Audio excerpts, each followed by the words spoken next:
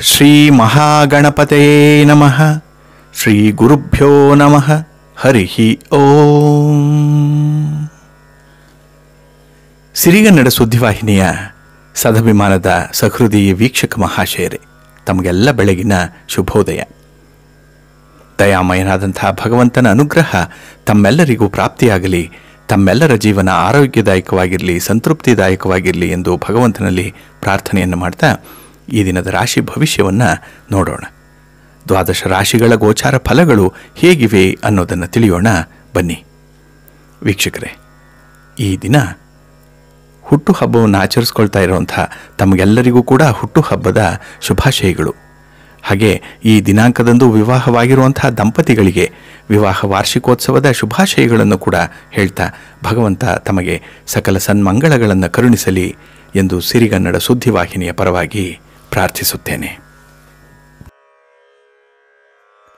ಪ್ರಿಯ ವೀಕ್ಷಕರೇ, ಇಂದು ಎರಡು ಸಾವಿರದ ಇಪ್ಪತ್ತರ ಜುಲೈ ತಿಂಗಳ ಮೂವತ್ತೊಂದನೇ ತಾರೀಕು ಭಾರ್ಗವ ವಾಸರ, ಅಂದರೆ ಶುಕ್ರವಾರ. ಈ ದಿನದ ನಿತ್ಯ ಪಂಚಾಂಗ ಫಲವನ್ನು ಈಗ ನೋಡೋಣ. ಶ್ರೀ ಶಾರ್ವರಿ ನಾಮ ಸಂವತ್ಸರೆ ದಕ್ಷಿಣಾಯನೆ ವರ್ಷ ಋತೌ ಶ್ರಾವಣ ಮಾಸೆ ಶುಕ್ಲ ಪಕ್ಷದ ದ್ವಾದಶಿ. ದಿನ ನಕ್ಷತ್ರ ಜ್ಯೇಷ್ಠ ನಕ್ಷತ್ರ. ಈ ದಿನ ಸೂರ್ಯೋದಯ ಆಗುವಂಥದ್ದು ಪ್ರಾತಃ ಕಾಲ ಆರು ಗಂಟೆ ಎರಡು ನಿಮಿಷಕ್ಕೆ, ಸೂರ್ಯಾಸ್ತ ಸಂಜೆ ಆರು ಗಂಟೆ ನಲವತ್ತೊಂಬತ್ತು ನಿಮಿಷಕ್ಕೆ.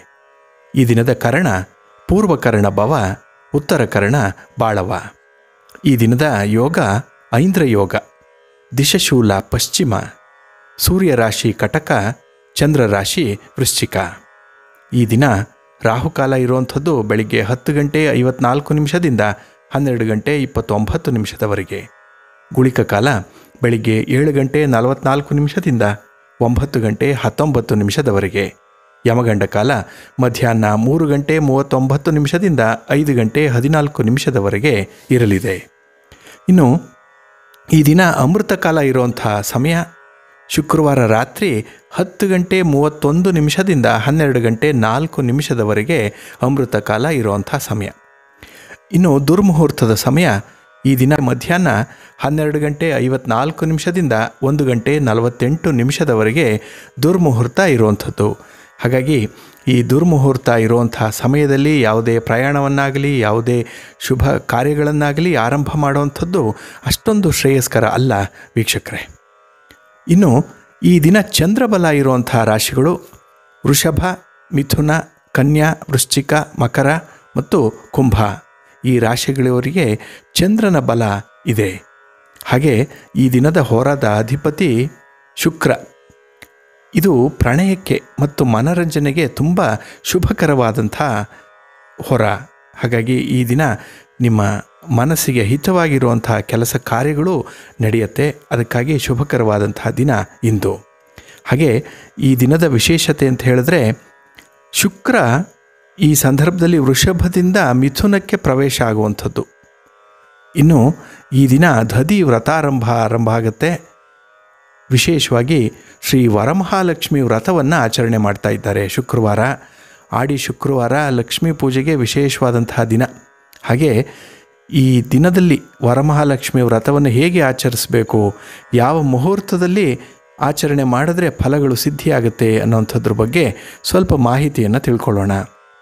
ಇನ್ನು ನಾಳಿನ ದಿನ ಶ್ರಾವಣ ಶನಿವಾರ ಇರುವಂಥದ್ದು ಶನಿ ಪ್ರದೋಷ ಇದೆ, ಅಂಗಾರಕ ಜಯಂತಿ ಇರುವಂತಹ ದಿನ ನಾಳೆ.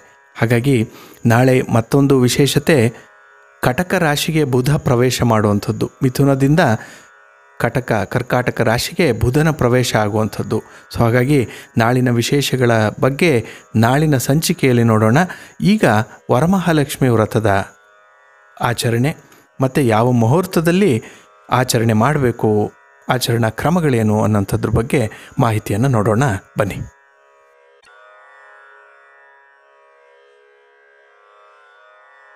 ಪ್ರಿಯ ಇಂದು ಶ್ರೀ ವರಮಹಾಲಕ್ಷ್ಮಿ ವ್ರತ. ಲಕ್ಷ್ಮಿ ಅಮ್ಮನವರ ವಿಶೇಷ ಪೂಜೆಗೆ ಮೀಸಲಾಗಿರುವಂತಹ ದಿನ. ವರಮಹಾಲಕ್ಷ್ಮಿ ವ್ರತವನ್ನು ಸಾಮಾನ್ಯವಾಗಿ ವರಲಕ್ಷ್ಮಿ ಪೂಜೆ ಅಂತನೂ ಅಥವಾ ವರಲಕ್ಷ್ಮಿ ನೋಂಬು ಅಂತ ಕೂಡ ಕೆಲವರು ಕರೀತಾರೆ. ಹಿಂದೂ ಧರ್ಮದಲ್ಲಿ ಆಚರಿಸಲ್ಪಡುವಂಥ ಪ್ರಮುಖ ಹಬ್ಬಗಳಲ್ಲಿ ಇದು ಕೂಡ ಒಂದು. ವರಮಹಾಲಕ್ಷ್ಮಿ ಹಬ್ಬವನ್ನು ಅಥವಾ ಈ ವ್ರತವನ್ನು ಲಕ್ಷ್ಮೀ ದೇವಿಯ ಪೂಜೆಗೆ ಅಂತಲೇ ಮೀಸಲಾಗಿಡುವಂಥದ್ದು. ಈ ವ್ರತವನ್ನು ಪುರುಷರಾಗಲಿ, ಮಹಿಳೆಯರಾಗಲಿ ಯಾರಾದರೂ ಕೂಡ ಆಚರಣೆಯನ್ನು ಮಾಡಬಹುದು ಅದರಲ್ಲೂ ಮಹಿಳೆಯರು ಹೆಚ್ಚಾಗಿ ವ್ರತವನ್ನು ಆಚರಣೆ ಮಾಡುವಂತಹ ರೂಢಿ ನಮ್ಮಲ್ಲಿ ಇರುವಂಥದ್ದು, ಅದು ಸಂಪ್ರದಾಯ. ಇನ್ನು ವರಮಹಾಲಕ್ಷ್ಮಿ ವ್ರತವನ್ನು ಶ್ರಾವಣ ಮಾಸದ ಎರಡನೇ ಶುಕ್ರವಾರದಂದು ಅಥವಾ ಶ್ರಾವಣ ಮಾಸದ ಹುಣ್ಣಿಮೆಗಿಂತ ಮೊದಲು ಬರುವಂತಹ ಶುಕ್ರವಾರದಂದು ಆಚರಣೆ ಮಾಡಲಾಗುತ್ತೆ. ಇಲ್ಲಿ ಈ ವ್ರತವನ್ನು ಯಾವ ಸಂದರ್ಭದಲ್ಲಿ, ಶುಭ ಮುಹೂರ್ತದಲ್ಲಿ ಈ ದಿನ ಆಚರಿಸಬೇಕು ಅಂತ ಹೇಳಿದ್ರೆ, ಈ ದಿನ ಆಚರಿಸುವಂಥ ವರಮಹಾಲಕ್ಷ್ಮಿ ಪೂಜಾ ದಿನಾಂಕ ಈಗಾಗಲೇ ಗೊತ್ತಿದೆ. ಜುಲೈ ಮೂವತ್ತೊಂದರ ಶುಕ್ರವಾರ. ಸಿಂಹಲಗ್ನ ಪೂಜಾ ಮುಹೂರ್ತ ಬೆಳಗ್ಗೆ ಏಳು ಗಂಟೆ ಹದಿನೇಳು ನಿಮಿಷದಿಂದ ಒಂಬತ್ತು ಗಂಟೆ ಇಪ್ಪತ್ತು ನಿಮಿಷದವರೆಗೆ ಸಿಂಹಲಗ್ನ ಇರುವಂಥದ್ದು. ಹಾಗಾಗಿ ಈ ಸಂದರ್ಭದಲ್ಲಿ ನೀವು ಮಹಾಲಕ್ಷ್ಮಿ ಪೂಜೆಗೆ ಅಣಿಯಾಗಿದ್ದರೆ ಬೆಳಗ್ಗೆ ಏಳು ಹದಿನೇಳರಿಂದ ಒಂಬತ್ತು ಇಪ್ಪತ್ತರವರೆಗೆ ಮಾಡುವಂಥದ್ದು. ಇದು ಸಿಂಹಲಗ್ನ. ಇನ್ನು ಒಂದು ವೇಳೆ ಈ ಒಂದು ಸಂದರ್ಭದಲ್ಲಿ ಮಾಡಲಿಕ್ಕೆ ಅನಾನುಕೂಲ ಆಯಿತು, ಇನ್ನೂ ನೀವು ರೆಡಿ ಇಲ್ಲ ಅಥವಾ ಅಣಿಯಾಗಿಲ್ಲ ಪೂಜೆಗೆ ಅಂತ ಹೇಳಿದ್ರೆ ಮಧ್ಯಾಹ್ನ ಒಂದು ಗಂಟೆ ಇಪ್ಪತ್ತೇಳು ನಿಮಿಷದಿಂದ ಮೂರು ಗಂಟೆ ಮೂವತ್ತೆಂಟು ನಿಮಿಷದವರೆಗೆ ಮಾಡಬಹುದು ನೋಡಿ. ಇದು ವೃಶ್ಚಿಕ ಲಗ್ನ ಪೂಜಾ ಮುಹೂರ್ತ ಇರುವಂಥದ್ದು. ಹಾಗಾಗಿ ವರಮಹಾಲಕ್ಷ್ಮಿ ವ್ರತವನ್ನು ಮಧ್ಯಾಹ್ನ ಕೂಡ ಆಚರಣೆ ಮಾಡಬಹುದು. ಇನ್ನು ಮಧ್ಯಾಹ್ನನೂ ಆಗಲಿಲ್ಲ. ಅನಾನುಕೂಲ ಆಯಿತು. ಹಾಗಾಗಿ ಸಂಜೆಯ ವೇಳೆಗೆ ಏನಾದರೂ ಪೂಜೆ ಮಾಡುವಂತಹ ಸಂಕಲ್ಪ ಇದ್ದರೆ ನಿಮಗೆ ಈ ದಿನ ಸಂಜೆ ಏಳು ಗಂಟೆ ನಲವತ್ತು ನಿಮಿಷದಿಂದ ರಾತ್ರಿ ಒಂಬತ್ತು ಗಂಟೆ ಇಪ್ಪತ್ತ್ಮೂರು ನಿಮಿಷದವರೆಗೆ ನೀವು ಮಾಡಬಹುದಾಗಿದೆ. ಹಾಗಾಗಿ ಇದು ಕುಂಭಲಗ್ನ ಪೂಜಾ ಮುಹೂರ್ತ ಇರುವಂಥ ಸಮಯ ಇದು. ಇನ್ನೂ ಒಂದು ಮುಹೂರ್ತ ಇದೆ. ಅದು ವೃಷಭಲಗ್ನ ಪೂಜಾ ಮುಹೂರ್ತ. ಅಂದರೆ ಇದು ಮಧ್ಯರಾತ್ರಿಯ ಪೂಜೆ. ಕೆಲವರು ಮಧ್ಯರಾತ್ರಿಯಲ್ಲೂ ಕೂಡ ಮಹಾಲಕ್ಷ್ಮಿಯನ್ನು ಒಲಿಸಿಕೊಳ್ಳಲಿಕ್ಕೆ ವಿಶೇಷ ಪೂಜೆ ಪುನಸ್ಕಾರಗಳನ್ನು ಮಾಡುವಂಥವರಿದ್ದಾರೆ. ಇದು ಆಗಸ್ಟ್ ಒಂದನೇ ತಾರೀಕಿಗೆ ಬೀಳುವಂಥದ್ದು. ಅಂದರೆ ಇದು ಹನ್ನೆರಡು ಗಂಟೆ ಐವತ್ತೊಂದು ನಿಮಿಷದಿಂದ ಎರಡು ಗಂಟೆ ಐವತ್ನಾಲ್ಕು ನಿಮಿಷದವರೆಗೆ ಇರುವಂಥ ವೃಷಭಲಗ್ನ ಪೂಜಾ ಮುಹೂರ್ತ ಕೂಡ ಇದೆ. ಇದರಲ್ಲೂ ಕೂಡ ಕೆಲವರು ಆಚರಣೆಯನ್ನು ಮಾಡ್ತಾರೆ. ಆದರೂ ಕೂಡ ನಮ್ಮ ಸಂಪ್ರದಾಯದಲ್ಲಿ ಶುಕ್ರವಾರದ ಬೆಳಗಿನ ಸಮಯದಲ್ಲಿ ಈಗಾಗಲೇ ಹೇಳಿದಾಗೆ ಸಿಂಹಲಗ್ನದಲ್ಲೋ ವೃಶ್ಚಿಕ ಲಗ್ನದಲ್ಲೋ ಅಥವಾ ಕುಂಭಲಗ್ನದಲ್ಲೋ ಪೂಜೆಯನ್ನು ನೆರವೇರಿಸುವಂಥದ್ದು ಸಾಮಾನ್ಯವಾಗಿ ಕಂಡುಬರುತ್ತೆ. ಇನ್ನು ವರಮಹಾಲಕ್ಷ್ಮಿ ವ್ರತ ಶುಕ್ರವಾರವಾದರೆ ಗುರುವಾರನೇ ಪೂಜೆಗೆ ಅಗತ್ಯ ಇರುವಂಥ ಸಾಮಗ್ರಿಗಳನ್ನು ಎಲ್ಲ ಜೋಡಿಸಿ ಇಟ್ಕೊಂಡಿರ್ತೀರಿ. ಈಗಾಗಲೇ ಸಿರಿಗನ್ನಡ ಸುದ್ದಿವಾಹಿನಿಯಲ್ಲಿ ಮೊನ್ನೆಯ ಸಂಚಿಕೆಯಲ್ಲಿ ನಾವು ತಿಳಿಸಿದ್ದೇವೆ, ಯಾವ ಯಾವ ಪರಿಕರಗಳನ್ನು, ಪೂಜಾ ವಸ್ತುಗಳನ್ನು ನೀವು ಅಣಿ ಮಾಡಿಟ್ಕೊಳ್ಬೇಕು ಅಂಥೇಳಿ ಈ ದಿನ ವ್ರತದ ದಿನ. ಮುಂಜಾನೆ ಬೆಳಗ್ಗೆ ಎದ್ದು ಸ್ನಾನಾದಿಗಳನ್ನು ಮುಗಿಸಿ ಪೂಜೆಗೆ ಅಣಿಯಾಗುವಂಥದ್ದು. ಆದರೆ ಬ್ರಹ್ಮ ಮುಹೂರ್ತದಲ್ಲಿ ಎದ್ದರೆ ಬಹಳ ಒಳ್ಳೆಯದು ಇಲ್ಲಿ ಮನೆಯನ್ನು, ಮನೆಯ ಸುತ್ತಮುತ್ತ ಇರುವಂತಹ ಸ್ಥಳವನ್ನು ಶುದ್ಧಗೊಳಿಸಿ ಮನೆಯ ಮುಂದೆ ರಂಗೋಲಿಯನ್ನು ಹಾಕಿ ಕೆಲವರು ತಳಿರು ತೋರಣಗಳಿಂದ ಕೂಡ ಮನೆಯನ್ನು ಸಿಂಗರಿಸ್ತಾರೆ. ಇದು ಕೂಡ ವಿಶೇಷ, ಯಾಕೆಂದರೆ ಹಬ್ಬದ ವಾತಾವರಣ ಬರಬೇಕು ಅಂತ ಹೇಳಿದ್ರೆ ಮಾವಿನ ಎಲೆಯ ತೋರಣವನ್ನು ಕಟ್ಟುವಂಥದ್ದು ಇದೆ. ತದನಂತರ ಮನೆಯ ಒಳಗಡೆ ಒಂದು ದೇವರ ಕೋಣೆಯಲ್ಲೋ ಅಥವಾ ಒಂದು ಪ್ರಶಸ್ತವಾಗಿರುವಂತಹ ಜಾಗದಲ್ಲಿ ಪೂರ್ವಾಭಿಮುಖವಾಗಿ ಅಥವಾ ಉತ್ತರಾಭಿಮುಖವಾಗಿ ನೀವು ಒಂದು ಮಂಟಪವನ್ನು ಸಿದ್ಧತೆ ಮಾಡಿ ಇಟ್ಕೊಳ್ಬೇಕು. ಇಲ್ಲಿ ಕಲಶ ಸ್ಥಾಪನೆಯನ್ನು ಮಾಡುವಂಥದ್ದು. ಒಂದು ವೇಳೆ ನಿಮ್ಮಲ್ಲಿ ಕಲಶ ಇಲ್ಲದೇ ಇದ್ದರೆ ಒಂದು ಬೆಳ್ಳಿ ಅಥವಾ ಕಂಚಿನ ಪಾತ್ರೆಯನ್ನಾದರೂ ಕಲಶದಂತೆ ಬಳಸಬಹುದು. ಈಗಾಗಲೇ ನೀವು ನೋಡಿದ್ದೀರಿ ಈ ಕಲಶವನ್ನು ಹೇಗೆ ಸಿದ್ಧತೆ ಮಾಡಿ ಇಟ್ಕೊಳ್ಬೇಕು ಅದಕ್ಕೆ ಉಡಿಸುವಂತಹ ಒಂದು ಸೀರೆ ಆಗಲಿ ಅಥವಾ ರವಿಕೆಯ ಕಣಗಳನ್ನು ಹೇಗಿಡಬೇಕು ಅನ್ನುವಂಥದ್ದು ಈಗಾಗಲೇ ವಿಚಾರಗಳು ನಿಮಗೆ ಗೊತ್ತಿದೆ. ಹಾಗೆ ಈ ಕಲಶವನ್ನು ಸ್ವಚ್ಛಗೊಳಿಸಿದ ನಂತರ ಅದಕ್ಕೆ ಶ್ರೀಗಂಧವನ್ನು ಹಚ್ಚಿ ಕಲಶದ ಮೇಲೆ ಐದು ಮಾವಿನ ಎಲೆಗಳನ್ನು ಅಥವಾ ಐದು ವಿಳ್ಯದೆಲೆಗಳನ್ನು ಇಟ್ಟು ಆ ಕಲಶದ ಮೇಲೆ ತೆಂಗಿನಕಾಯಿಯನ್ನು ಇಡುವಂಥದ್ದು. ಈ ತೆಂಗಿನಕಾಯಿಯನ್ನು ಸಾಮಾನ್ಯವಾಗಿ ಅರಿಶಿನದಲ್ಲಿ ಅದನ್ನು, ಅಂದರೆ ಅರಿಶಿನವನ್ನು ಹಚ್ಚಿರ್ತಾರೆ ಆ ತೆಂಗಿನಕಾಯಿಗೆ. ಇನ್ನು ಕಲಶದ ಒಳಗೆ ಕೆಲವರು ಸಂಪ್ರದಾಯದಂತೆ ಕೆಲವು ಮಂಗಳಕರ ವಸ್ತುಗಳನ್ನು ಹಾಕುವಂಥದ್ದಿದೆ. ಕೆಲವರು ಅರಿಶಿಣದ ಗೋಟನ್ನು, ಕಪ್ಪು ಮಣಿಗಳನ್ನು, ಕನ್ನಡಿಯನ್ನು, ಕಪ್ಪು ಬಳೆಗಳನ್ನು, ಬಾಚಣಿಗೆಯನ್ನು ಇಡ್ತಾರೆ. ಅಂದರೆ ಇಲ್ಲಿ ಮೊರದ ಬಾಗಿನಕ್ಕೆ ಇಡುವಂತಹ ಸಾಮಗ್ರಿಗಳನ್ನು ಕೂಡ ಈ ಒಂದು ಕಲಶದ ಒಳಗೆ ಇಡುವಂಥದ್ದು. ಆದರೆ ಕೆಲವರು ಈ ಕಲಶದ ಒಳಗಡೆ ಅಡಿಕೆ ಗೋಟುಗಳನ್ನು, ಒಣ ಹಣ್ಣುಗಳನ್ನು, ಅಂದರೆ ಖರ್ಜೂರ, ದ್ರಾಕ್ಷಿ, ಗೋಡಂಬಿ ಇತ್ಯಾದಿಗಳನ್ನು ಹಾಕುವಂಥದ್ದು ಇದೆ. ಹಾಗೆ ನಿಮ್ಮ ನಿಮ್ಮ ಸಂಪ್ರದಾಯ ಹೇಗಿದೆಯೋ ಹಾಗೆ ಇಲ್ಲಿ ಕಳಶದ ಒಳಗೆ ಸಾಮಗ್ರಿಗಳನ್ನು ನೀವು ಹಾಕಿ ಅದನ್ನು ಈಗಾಗಲೇ ಹೇಳಿದಾಗೆ ಮಾವಿನ ಎಲೆ ಅಥವಾ ವಿಳ್ಯದೆಲೆಯಿಂದ ಐದು ವಿಳ್ಯದೆಲೆಯನ್ನು ಅಥವಾ ಐದು ಮಾವಿನ ಎಲೆಗಳನ್ನು ಇಟ್ಟು ಅಥವಾ ಮಾವಿನ ಗುಚ್ಛವನ್ನು ಇಡಬಹುದು. ಈ ಕಲಶದ ಮೇಲೆ, ಅದರ ಮೇಲೆ ಅರಿಶಿನ ಹಚ್ಚಿದ ತೆಂಗಿನ ಕಾಯಿಯನ್ನು ಉಪಯೋಗ ಮಾಡುವಂಥದ್ದು. ತೆಂಗಿನ ಕಾಯಿಯ ಮೇಲೆ ಲಕ್ಷ್ಮಿ ಚಿತ್ರವನ್ನು ಕೆಲವರು ಬಿಡಿಸ್ತಾರೆ ಅಥವಾ ಲಕ್ಷ್ಮಿಯ ಚಿತ್ರವನ್ನೇ ಅಂಟಿಸುವಂಥದ್ದು. ಕೆಲವರು ಬೆಳ್ಳಿಯ ಮುಖವಾಡ ಇದ್ದರೆ ಆ ಮುಖವಾಡವನ್ನೇ ತೆಂಗಿನ ಕಾಯಿಗೆ ಅಂಟಿಸುವಂಥದ್ದು ಇದೆ. ಇನ್ನು ಈ ಕಲಶವನ್ನು ಅಕ್ಕಿಯ ಮೇಲೆ ಇಡಬೇಕು. ಅಕ್ಕಿಯ ಮೇಲೆ ಕಲಶನ್ನು ಇಟ್ಟಾಗ ಒಂದು ಗಣಪತಿಯನ್ನು, ಒಂದು ಪಿಳ್ಳಾರ್ತಿಯನ್ನು ಮಾಡಿ ಗಣಪತಿಯ ಪೂಜೆಯನ್ನು ಆರಂಭ ಮಾಡಬೇಕು. ಪಿಳ್ಳಾರ್ತಿ ಇಲ್ಲ ಅಂತ ಹೇಳಿದರೆ ಮನೆಯಲ್ಲಿರುವಂಥ ಯಾವುದೇ ಪಂಚಲೋಕದ ಗಣಪತಿಯ ವಿಗ್ರಹವಾಗಲಿ, ಬೆಳ್ಳಿಯ ವಿಗ್ರಹವಾಗಲಿ ಇಟ್ಟು ಅದನ್ನು ಪೂಜೆ ಮಾಡಬೇಕು. ಮೊದಲು ಗಣಪತಿಗೆ ಪೂಜೆ. ತದನಂತರ ಲಕ್ಷ್ಮೀದೇವಿ ಮಂತ್ರವನ್ನು ಅಥವಾ ಲಕ್ಷ್ಮೀ ಸಹಸ್ರನಾಮವನ್ನು ಪಠನೆ ಮಾಡಬೇಕು. ಇಲ್ಲಿ ಸಿಹಿ ಖಾದ್ಯವನ್ನು ನೈವೇದ್ಯವಾಗಿ ಅರ್ಪಣೆ ಮಾಡುತ್ತೆ. ಕೊನೆಗೆ ಕಲಶಕ್ಕೆ ಆರತಿಯನ್ನು ಮಾಡುವಂಥದ್ದು. ಪೂಜಾ ಸಮಯದಲ್ಲಿ ಮಹಿಳೆಯರಿಗೆ ಹಳದಿ ದಾರವನ್ನು, ಅಂದರೆ ದೂರ ಬಂಧನವನ್ನು ಕಟ್ಟಿಕೊಳ್ಳಬೇಕು. ಇದು ಕೂಡ ಒಂದು ಸಂಪ್ರದಾಯಬದ್ಧವಾಗಿ ಆಚರಣೆ ಮಾಡುವಂಥದ್ದು. ಹಲವೆಡೆ ಇದರಲ್ಲಿ ಈ ಸಂಪ್ರದಾಯ ಆಚರಣೆಯಲ್ಲಿರುವಂಥದ್ದು. ಇನ್ನು ಕೆಲವು ಮಹಿಳೆಯರು ಉಪವಾಸವನ್ನು ಕೂಡ ಆಚರಣೆ ಮಾಡ್ತಾರೆ. ಆದರೆ ಈ ವರಮಹಾಲಕ್ಷ್ಮಿ ವ್ರತವನ್ನು ಆಚರಣೆ ಮಾಡಿದಂಥವರು ಅದೇ ದಿನ ಕಲಶವನ್ನು ಕದಲಿಸಬಾರ್ದು. ಬದಲಾಗಿ ವ್ರತದ ಮರುದಿನ, ಅಂದರೆ ಶನಿವಾರದಂದು ಕಲಶವನ್ನು ತೆಗಿಬೇಕು. ಕಲಶದೊಳಗಿರುವಂಥ ನೀರನ್ನು ಮನೆಯ ಎಲ್ಲ ಕೋಣೆಗಳಲ್ಲೂ ಸಿಂಪಡಿಸಿ ಹಾಗೂ ಅದರಲ್ಲಿರುವಂತಹ ಅಕ್ಕಿಯನ್ನು ಮನೆಯಲ್ಲಿರುವ ಅಕ್ಕಿಯೊಂದಿಗೆ ಬೆರೆಸಿ ಅನ್ನವನ್ನು ಮಾಡುವಂಥದ್ದು. ಅಂದರೆ ಕಲಶದ ಒಳಗೆ ನೀರನ್ನು ಹಾಕುವಂಥ ಸಂಪ್ರದಾಯ ಇದ್ದವರು ನೀರನ್ನು ಚುಮಕಿಸ್ತಾರೆ. ಇಲ್ಲ ಬೇರೆ ಯಾವುದೇ ಪರಿಕರಗಳನ್ನು ಹಾಕಿದರೆ ಅದನ್ನು ಪ್ರಸಾದ ರೂಪವಾಗಿ ಉಪಯೋಗಿಸ್ತಕ್ಕಂಥವು ಇನ್ನು ವಾರಮಹಾಲಕ್ಷ್ಮಿಯ ವ್ರತದ ಮಹತ್ವಗಳು ಈಗಾಗಲೇ ಗೊತ್ತಿದೆ. ದೇವಿಯ ಆಶೀರ್ವಾದವನ್ನು ಪಡೀಲಿಕ್ಕೆ ಲಕ್ಷ್ಮಿಯನ್ನು ಸಂತೋಷಗೊಳಿಸಲಿಕ್ಕಾಗಿ ಈ ವರಮಹಾಲಕ್ಷ್ಮಿ ವ್ರತವನ್ನು ಆಚರಣೆ ಮಾಡ್ತಾರೆ. ಈ ಆಚರಣೆಯನ್ನು ಯಾವುದೇ ಕಟ್ಟುನಿಟ್ಟಿನ ನಿಯಮಗಳು ಅನ್ನೋವಂಥದ್ದೇನಿಲ್ಲ ಆದರೂ ಕೂಡ ಶ್ರದ್ಧಾ ಭಕ್ತಿಗಳಿಂದ ಆಚರಣೆ ಮಾಡಿದ್ರೆ ಸಾಕು. ಹಿಂದೂ ಪುರಾಣದ ಪ್ರಕಾರ ಲಕ್ಷ್ಮೀ ದೇವಿ ಸಮೃದ್ಧ ಸಂಪತ್ತನ್ನು, ಅದೃಷ್ಟವನ್ನು, ಬುದ್ಧಿವಂತಿಕೆಯನ್ನು, ಧೈರ್ಯವನ್ನು, ಹಾಗೆ ಒಂದು ಸಂತಾನ ಪ್ರಾಪ್ತಿಯನ್ನು ಕೂಡ ನೀಡುವಂಥ ಒಂದು ಅಧಿದೇವತೆ ಅನ್ನುವಂಥ ನಂಬಿಕೆ ಇದೆ. ಕೆಲವರು ಮನೆಯಲ್ಲಿರುವಂಥ ನಾಣ್ಯವನ್ನು ಕರೆನ್ಸಿ ನೋಟುಗಳನ್ನು, ಹಾಗೆ ಚಿನ್ನ, ಬೆಳ್ಳಿ, ಒಡವೆ ವಸ್ತ್ರಗಳನ್ನು ಕೂಡ ಮಹಾಲಕ್ಷ್ಮಿಯ ಒಂದು ಸನ್ನಿಧಾನದಲ್ಲಿ ಇಟ್ಟು ಅರ್ಚನೆ ಮಾಡುವಂಥದ್ದು, ಪೂಜೆ ಮಾಡುವಂಥ ಕ್ರಮ ಕೂಡ ಇದೆ. ಹೀಗೆ ವಿವಾಹಿತ ಮಹಿಳೆಯರು ಲಕ್ಷ್ಮಿಯನ್ನು ಪೂಜೆ ಮಾಡೋದರಿಂದ ನಿಮ್ಮ ಪತಿಯ ಆಯಸ್ಸು ವೃದ್ಧಿಯಾಗತ್ತೆ, ಉತ್ತಮ ಸಂತಾನ ಪ್ರಾಪ್ತಿಯಾಗತ್ತೆ ಹಾಗೆ ಒಂದು ಆಯುರ ಆರೋಗ್ಯ ಐಶ್ವರ್ಯಾದಿಗಳ ಜೊತೆಗೆ ನೆಮ್ಮದಿಯ ಜೀವನ ಪ್ರಾಪ್ತಿಯಾಗುತ್ತೆ ಅನ್ನೋಂಥ ಒಂದು ನಂಬಿಕೆಯಿಂದ ವರಮಹಾಲಕ್ಷ್ಮಿಯ ವ್ರತವನ್ನು ಆಚರಣೆ ಮಾಡುವಂಥದ್ದನ್ನು ನಾವು ನೋಡಿದ್ದೇವೆ ವೀಕ್ಷಕರೇ. ಇದು ವರಮಹಾಲಕ್ಷ್ಮಿ ಹಬ್ಬದ ವಿಧಾನ ಆದರೆ ಕೆಲವರು ವರಮಹಾಲಕ್ಷ್ಮಿಯನ್ನು ವ್ರತದ ರೀತಿಯಲ್ಲಿ ಆಚರಣೆ ಮಾಡ್ತಾರೆ. ಇದಕ್ಕೆ ಸ್ವಲ್ಪ ನಿಯಮ ನಿಷ್ಠೆ ಅನ್ನುವಂಥದ್ದು ಅಗತ್ಯವಾಗಿ ಬೇಕಾಗುತ್ತೆ. ಈಗ ಶ್ರಾವಣ ಮಾಸದ ಎರಡನೇ ಶುಕ್ರವಾರ ವರಮಹಾಲಕ್ಷ್ಮಿ ಹಬ್ಬವನ್ನು ಆಚರಣೆ ಮಾಡಲಿಕ್ಕಾಗದೇ ಇದ್ದವರು ಈ ಶ್ರಾವಣ ಮಾಸದಲ್ಲಿ ಬರುವಂಥ ಯಾವುದೇ ಶುಕ್ರವಾರದಂದು ಕೂಡ ಈ ಹಬ್ಬವನ್ನು ಆಚರಣೆ ಮಾಡ್ಬೋದು. ಒಂದು ವೇಳೆ ಶ್ರಾವಣ ಮಾಸದಲ್ಲೇ ಆಗಲಿಲ್ಲ ಅಂತ ಹೇಳಿದ್ರೆ ನವರಾತ್ರಿಯಲ್ಲಿ ಬರುವಂಥ ಹತ್ತು ದಿನಗಳಲ್ಲಿ ನಿಮಗೆ ಅನುಕೂಲಕರವಾಗಿರುವಂಥ ಯಾವುದೇ ದಿನ ವರಮಹಾಲಕ್ಷ್ಮಿ ಹಬ್ಬವನ್ನು ಆಚರಣೆ ಮಾಡಲಿಕ್ಕೆ ಅವಕಾಶ ಇದೆ. ಇಲ್ಲಿ ವರಮಹಾಲಕ್ಷ್ಮಿ ಅಂದರೆ ನಾವು ಬರೀ ಲಕ್ಷ್ಮೀದೇವಿ ಪೂಜೆ ಮಾತ್ರ ಅಲ್ಲ ಲಕ್ಷ್ಮಿ ಇಲ್ಲದೆ ನಾರಾಯಣ ಇಲ್ಲ, ನಾರಾಯಣ ಇಲ್ಲದೆ ಲಕ್ಷ್ಮಿ ಇಲ್ಲ. ಆದ್ದರಿಂದ ಲಕ್ಷ್ಮೀ ನಾರಾಯಣರ ಪೂಜೆ ಅಂತ ಹೇಳಿ ಅನುಸಂಧಾನ ಮಾಡಿಕೊಂಡು ಈ ಪೂಜೆಯನ್ನು ಮಾಡುವಂಥದ್ದು ಕೆಲವು ಕಡೆ ರೂಢಿಯಲ್ಲಿದೆ.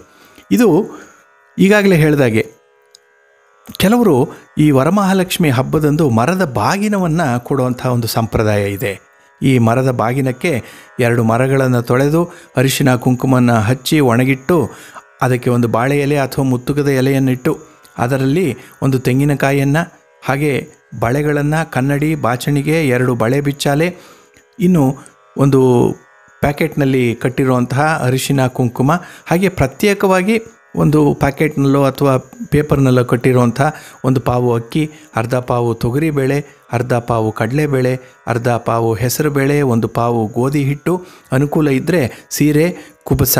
ಇಷ್ಟನ್ನು ಮರದ ಬಾಗಿನದಲ್ಲಿ ಇಟ್ಟು ನಾಲ್ಕು ವಿಳ್ಯದಲ್ಲೇ ಅಡಿಕೆ, ದಕ್ಷಿಣೆ, ಹಣ್ಣು ತಯಾರು ಮಾಡಿ ಇಟ್ಕೊಳ್ಬೇಕು. ಇನ್ನು ಮಹಾಲಕ್ಷ್ಮಿಯ ಪೂಜೆಗೆ ಮಂಟಪವನ್ನು ತಯಾರು ಮಾಡಿದ್ದೀರಿ. ಈ ಮಂಟಪಕ್ಕೆ ಮಾವಿನ ಸೊಪ್ಪನ್ನು ಕಟ್ಟಿದ್ದೀರಿ. ಬಾಳೆ ಎಲೆ, ಬಾಳೆ ಕಂಬ ರೆಡಿ ಇರುತ್ತೆ. ಹಾಗೆ ಮಂಟಪದ ಮುಂದೆ ಅಲಂಕಾರಕ್ಕೆ ನೀವು ರಂಗೋಲಿಯನ್ನು ಇಟ್ಟಿದ್ದೀರಿ. ಮತ್ತು ಹೂಗಳಿಂದ ಅಲಂಕಾರವನ್ನು ಮಾಡಿರುವಂಥದ್ದು ಮಹಾಲಕ್ಷ್ಮಿಗೆ ಬಹಳ ವಿಶೇಷವಾಗಿ ಸೇವಂತಿಗೆ ಹೂವು ಇಷ್ಟ. ಅದಕ್ಕಾಗಿ ಬಿಳಿ ಸೇವಂತಿಗೆ, ಹಲ, ಹಳದಿ ಸೇವಂತಿಗೆ ಸುಗಂಧರಾಜ ಹೂವು ಮತ್ತು ಬಿಡಿ ಮಲ್ಲಿಗೆ ಹೂವನ್ನು ಕೂಡ ಪೂಜೆಗೆ ಇಟ್ಕೊಂಡಿರಬೇಕು. ಇನ್ನು ದವನ ಅಥವಾ ಮರುಗ, ಗುಲಾಬಿ, ತಾವರೆ, ಕೇದಿಗೆ ಇಂತಹ ಒಂದು ಹೂಗಳನ್ನು ಕೂಡ ಇಲ್ಲಿ ಪೂಜೆಗೆ ಅಣಿ ಮಾಡಿ ಇಟ್ಕೊಳ್ಬೇಕು. ಇನ್ನು ಗೆಜ್ಜೆ ವಸ್ತ್ರಗಳನ್ನು. ಒಂದು ಗಣೇಶನಿಗೆ ಬೇಕು, ಒಂದು ತುಳಸಿಗೆ ಬೇಕು, ಒಂದು ಯಮುನಾ ಪೂಜೆಗೆ, ಒಂದು ವಿಸರ್ಜನೆಗೆ ಅಂದರೆ ಕದಲಿಸುವಾಗ ಬೇಕಾಗತ್ತೆ. ಇನ್ನು ನೈವೇದ್ಯಕ್ಕೆ ಐದು ರೀತಿಯ ಹಣ್ಣುಗಳಿರಬೇಕು. ತೆಂಗಿನಕಾಯಿ ಬೇಕು, ಮತ್ತು ಪಂಚಕಜ್ಜಾಯ ಮಾಡುವಂಥದ್ದು, ಅಥವಾ ಪಂಚಾಮೃತ ಮಾಡುವಂಥವ್ರಿಗೂ ಕೂಡ ಗೋಡಂಬಿ, ಬಾದಾಮಿ, ದ್ರಾಕ್ಷಿ, ಖರ್ಜೂರ ಕಲ್ಸಕ್ಕರೆ ಹಾಲು, ತುಪ್ಪ ಬೇಕಾಗತ್ತೆ. ಇದನ್ನು ಕೂಡ ನೀವು ಸಿದ್ಧತೆ ಮಾಡಿ ಇಟ್ಕೊಂಡಿರ್ತೀರಿ. ಇನ್ನು ಮಹಾಲಕ್ಷ್ಮಿ ಕಳಸದಲ್ಲಿ ಕೆಲವರು ಬೇರೆ ಬೇರೆ ರೀತಿಯಲ್ಲಿ ಕಳಶದ ಒಳಗೆ ಸಾಮಗ್ರಿಗಳನ್ನು ಹಾಕುವಂಥದ್ದಿದೆ. ಇಲ್ಲಿ ಒಂದು ಚಿಕ್ಕ ಬೆಳ್ಳಿ ಬಟ್ಲು ಅಳತೆ ಅಷ್ಟು ಐದು ಬಟ್ಲು ಅಕ್ಕಿಯನ್ನು ಕಳಶದೊಳಗೆ ಹಾಕುವಂಥವರಿದ್ದಾರೆ. ಎರಡು ಬಾದಾಮಿಯನ್ನು, ಎರಡು ಗೋಡಂಬಿ, ಐದು ದ್ರಾಕ್ಷಿಯನ್ನು, ಎರಡು ಖರ್ಜೂರವನ್ನು, ಒಂದು ನಿಂಬೆಹಣ್ಣು, ಕೆಲವರು ಬೆಳ್ಳಿ ನಾಣ್ಯಗಳನ್ನು ಕಳಶದ ಒಳಗೆ, ಅಂದರೆ ಆ ತಂಬಿಗೆ ಒಳಗೆ ಹಾಕಿ ಅದರ ಮೇಲೆ ಈಗಾಗಲೇ ಹೇಳಿದಾಗೆ ಐದು ವಿಳ್ಯದೆಲೆ ಅಥವಾ ಈ ಮಾವಿನ ಸೊಪ್ಪಿನ ಈ ಕುಡಿಯನ್ನು ಇಟ್ಟು ಅದರ ಮೇಲೆ ತೆಂಗಿನಕಾಯಿಯನ್ನು. ಅಂದರೆ ಈಗಾಗಲೇ ಆ ತೆಂಗಿನಕಾಯಿ ಅಲಂಕಾರ ಮಾಡಿರ್ತಾರೆ, ಮತ್ತು ಅರಿಶಿನದಿಂದ ಅಲಂಕಾರ, ಅಂದರೆ ಅರಿಶಿನ ಹಚ್ಚಿದಂತಹ ತೆಂಗಿನಕಾಯಿಗೆ ಮಹಾಲಕ್ಷ್ಮಿಯ ಮುಖವಾಡವನ್ನು ಧರಿಸಿದ್ದು ಅದನ್ನು ಇಟ್ಟು ಒಂದು ಅಣಿ ಮಾಡಿಕೊಂಡಿದ್ದಾರೆ. ಇಲ್ಲಿ ಶ್ರದ್ಧಾ ಭಕ್ತಿಯಿಂದ ಮಾಡುವಂಥ ಈ ಪೂಜಾ ಕೈಂಕರ್ಯದಲ್ಲಿ ಮೊದಲು ಈ ಸಿದ್ಧತೆಗೆ ಹೆಚ್ಚಿನ ಸಮಯ ಬೇಕಾಗುವಂಥದ್ದು. ಇನ್ನು ನೈವೇದ್ಯಕ್ಕೆ ಈಗಾಗಲೇ ಹೇಳಿದಾಗೆ ಯಾವುದಾದ್ರೂ ಒಂದು ಸಿಹಿ ತಿಂಡಿಯನ್ನು, ಪಾಯಸವನ್ನು ಅಥವಾ ಒಬ್ಬಟ್ಟನ್ನು, ಹೋಳಿಗೆಯನ್ನು ಮಾಡಿಟ್ಕೊಳ್ಳುವಂಥದ್ದು ಆಗಬೇಕು. ಇದಾದ ನಂತರ ಕೆಲವರು ಯಮುನಾ ಪೂಜೆಯನ್ನು ಮಾಡುವಂಥವರಿದ್ದಾರೆ. ಅಂದರೆ ತುಳಸಿ ಕಟ್ಟೆ ಇದ್ದರೆ ಮನೆ ಹತ್ರ ಆ ತುಳಸಿ ಕಟ್ಟೆಗೆ ಒಂದು ಪೂಜೆಯನ್ನು ಮಾಡಿ ಅಲ್ಲಿಂದ ಮಹಾಲಕ್ಷ್ಮಿಯನ್ನು ಮನೆ ಒಳಗೆ ಕರೆತರುವಂಥದ್ದು.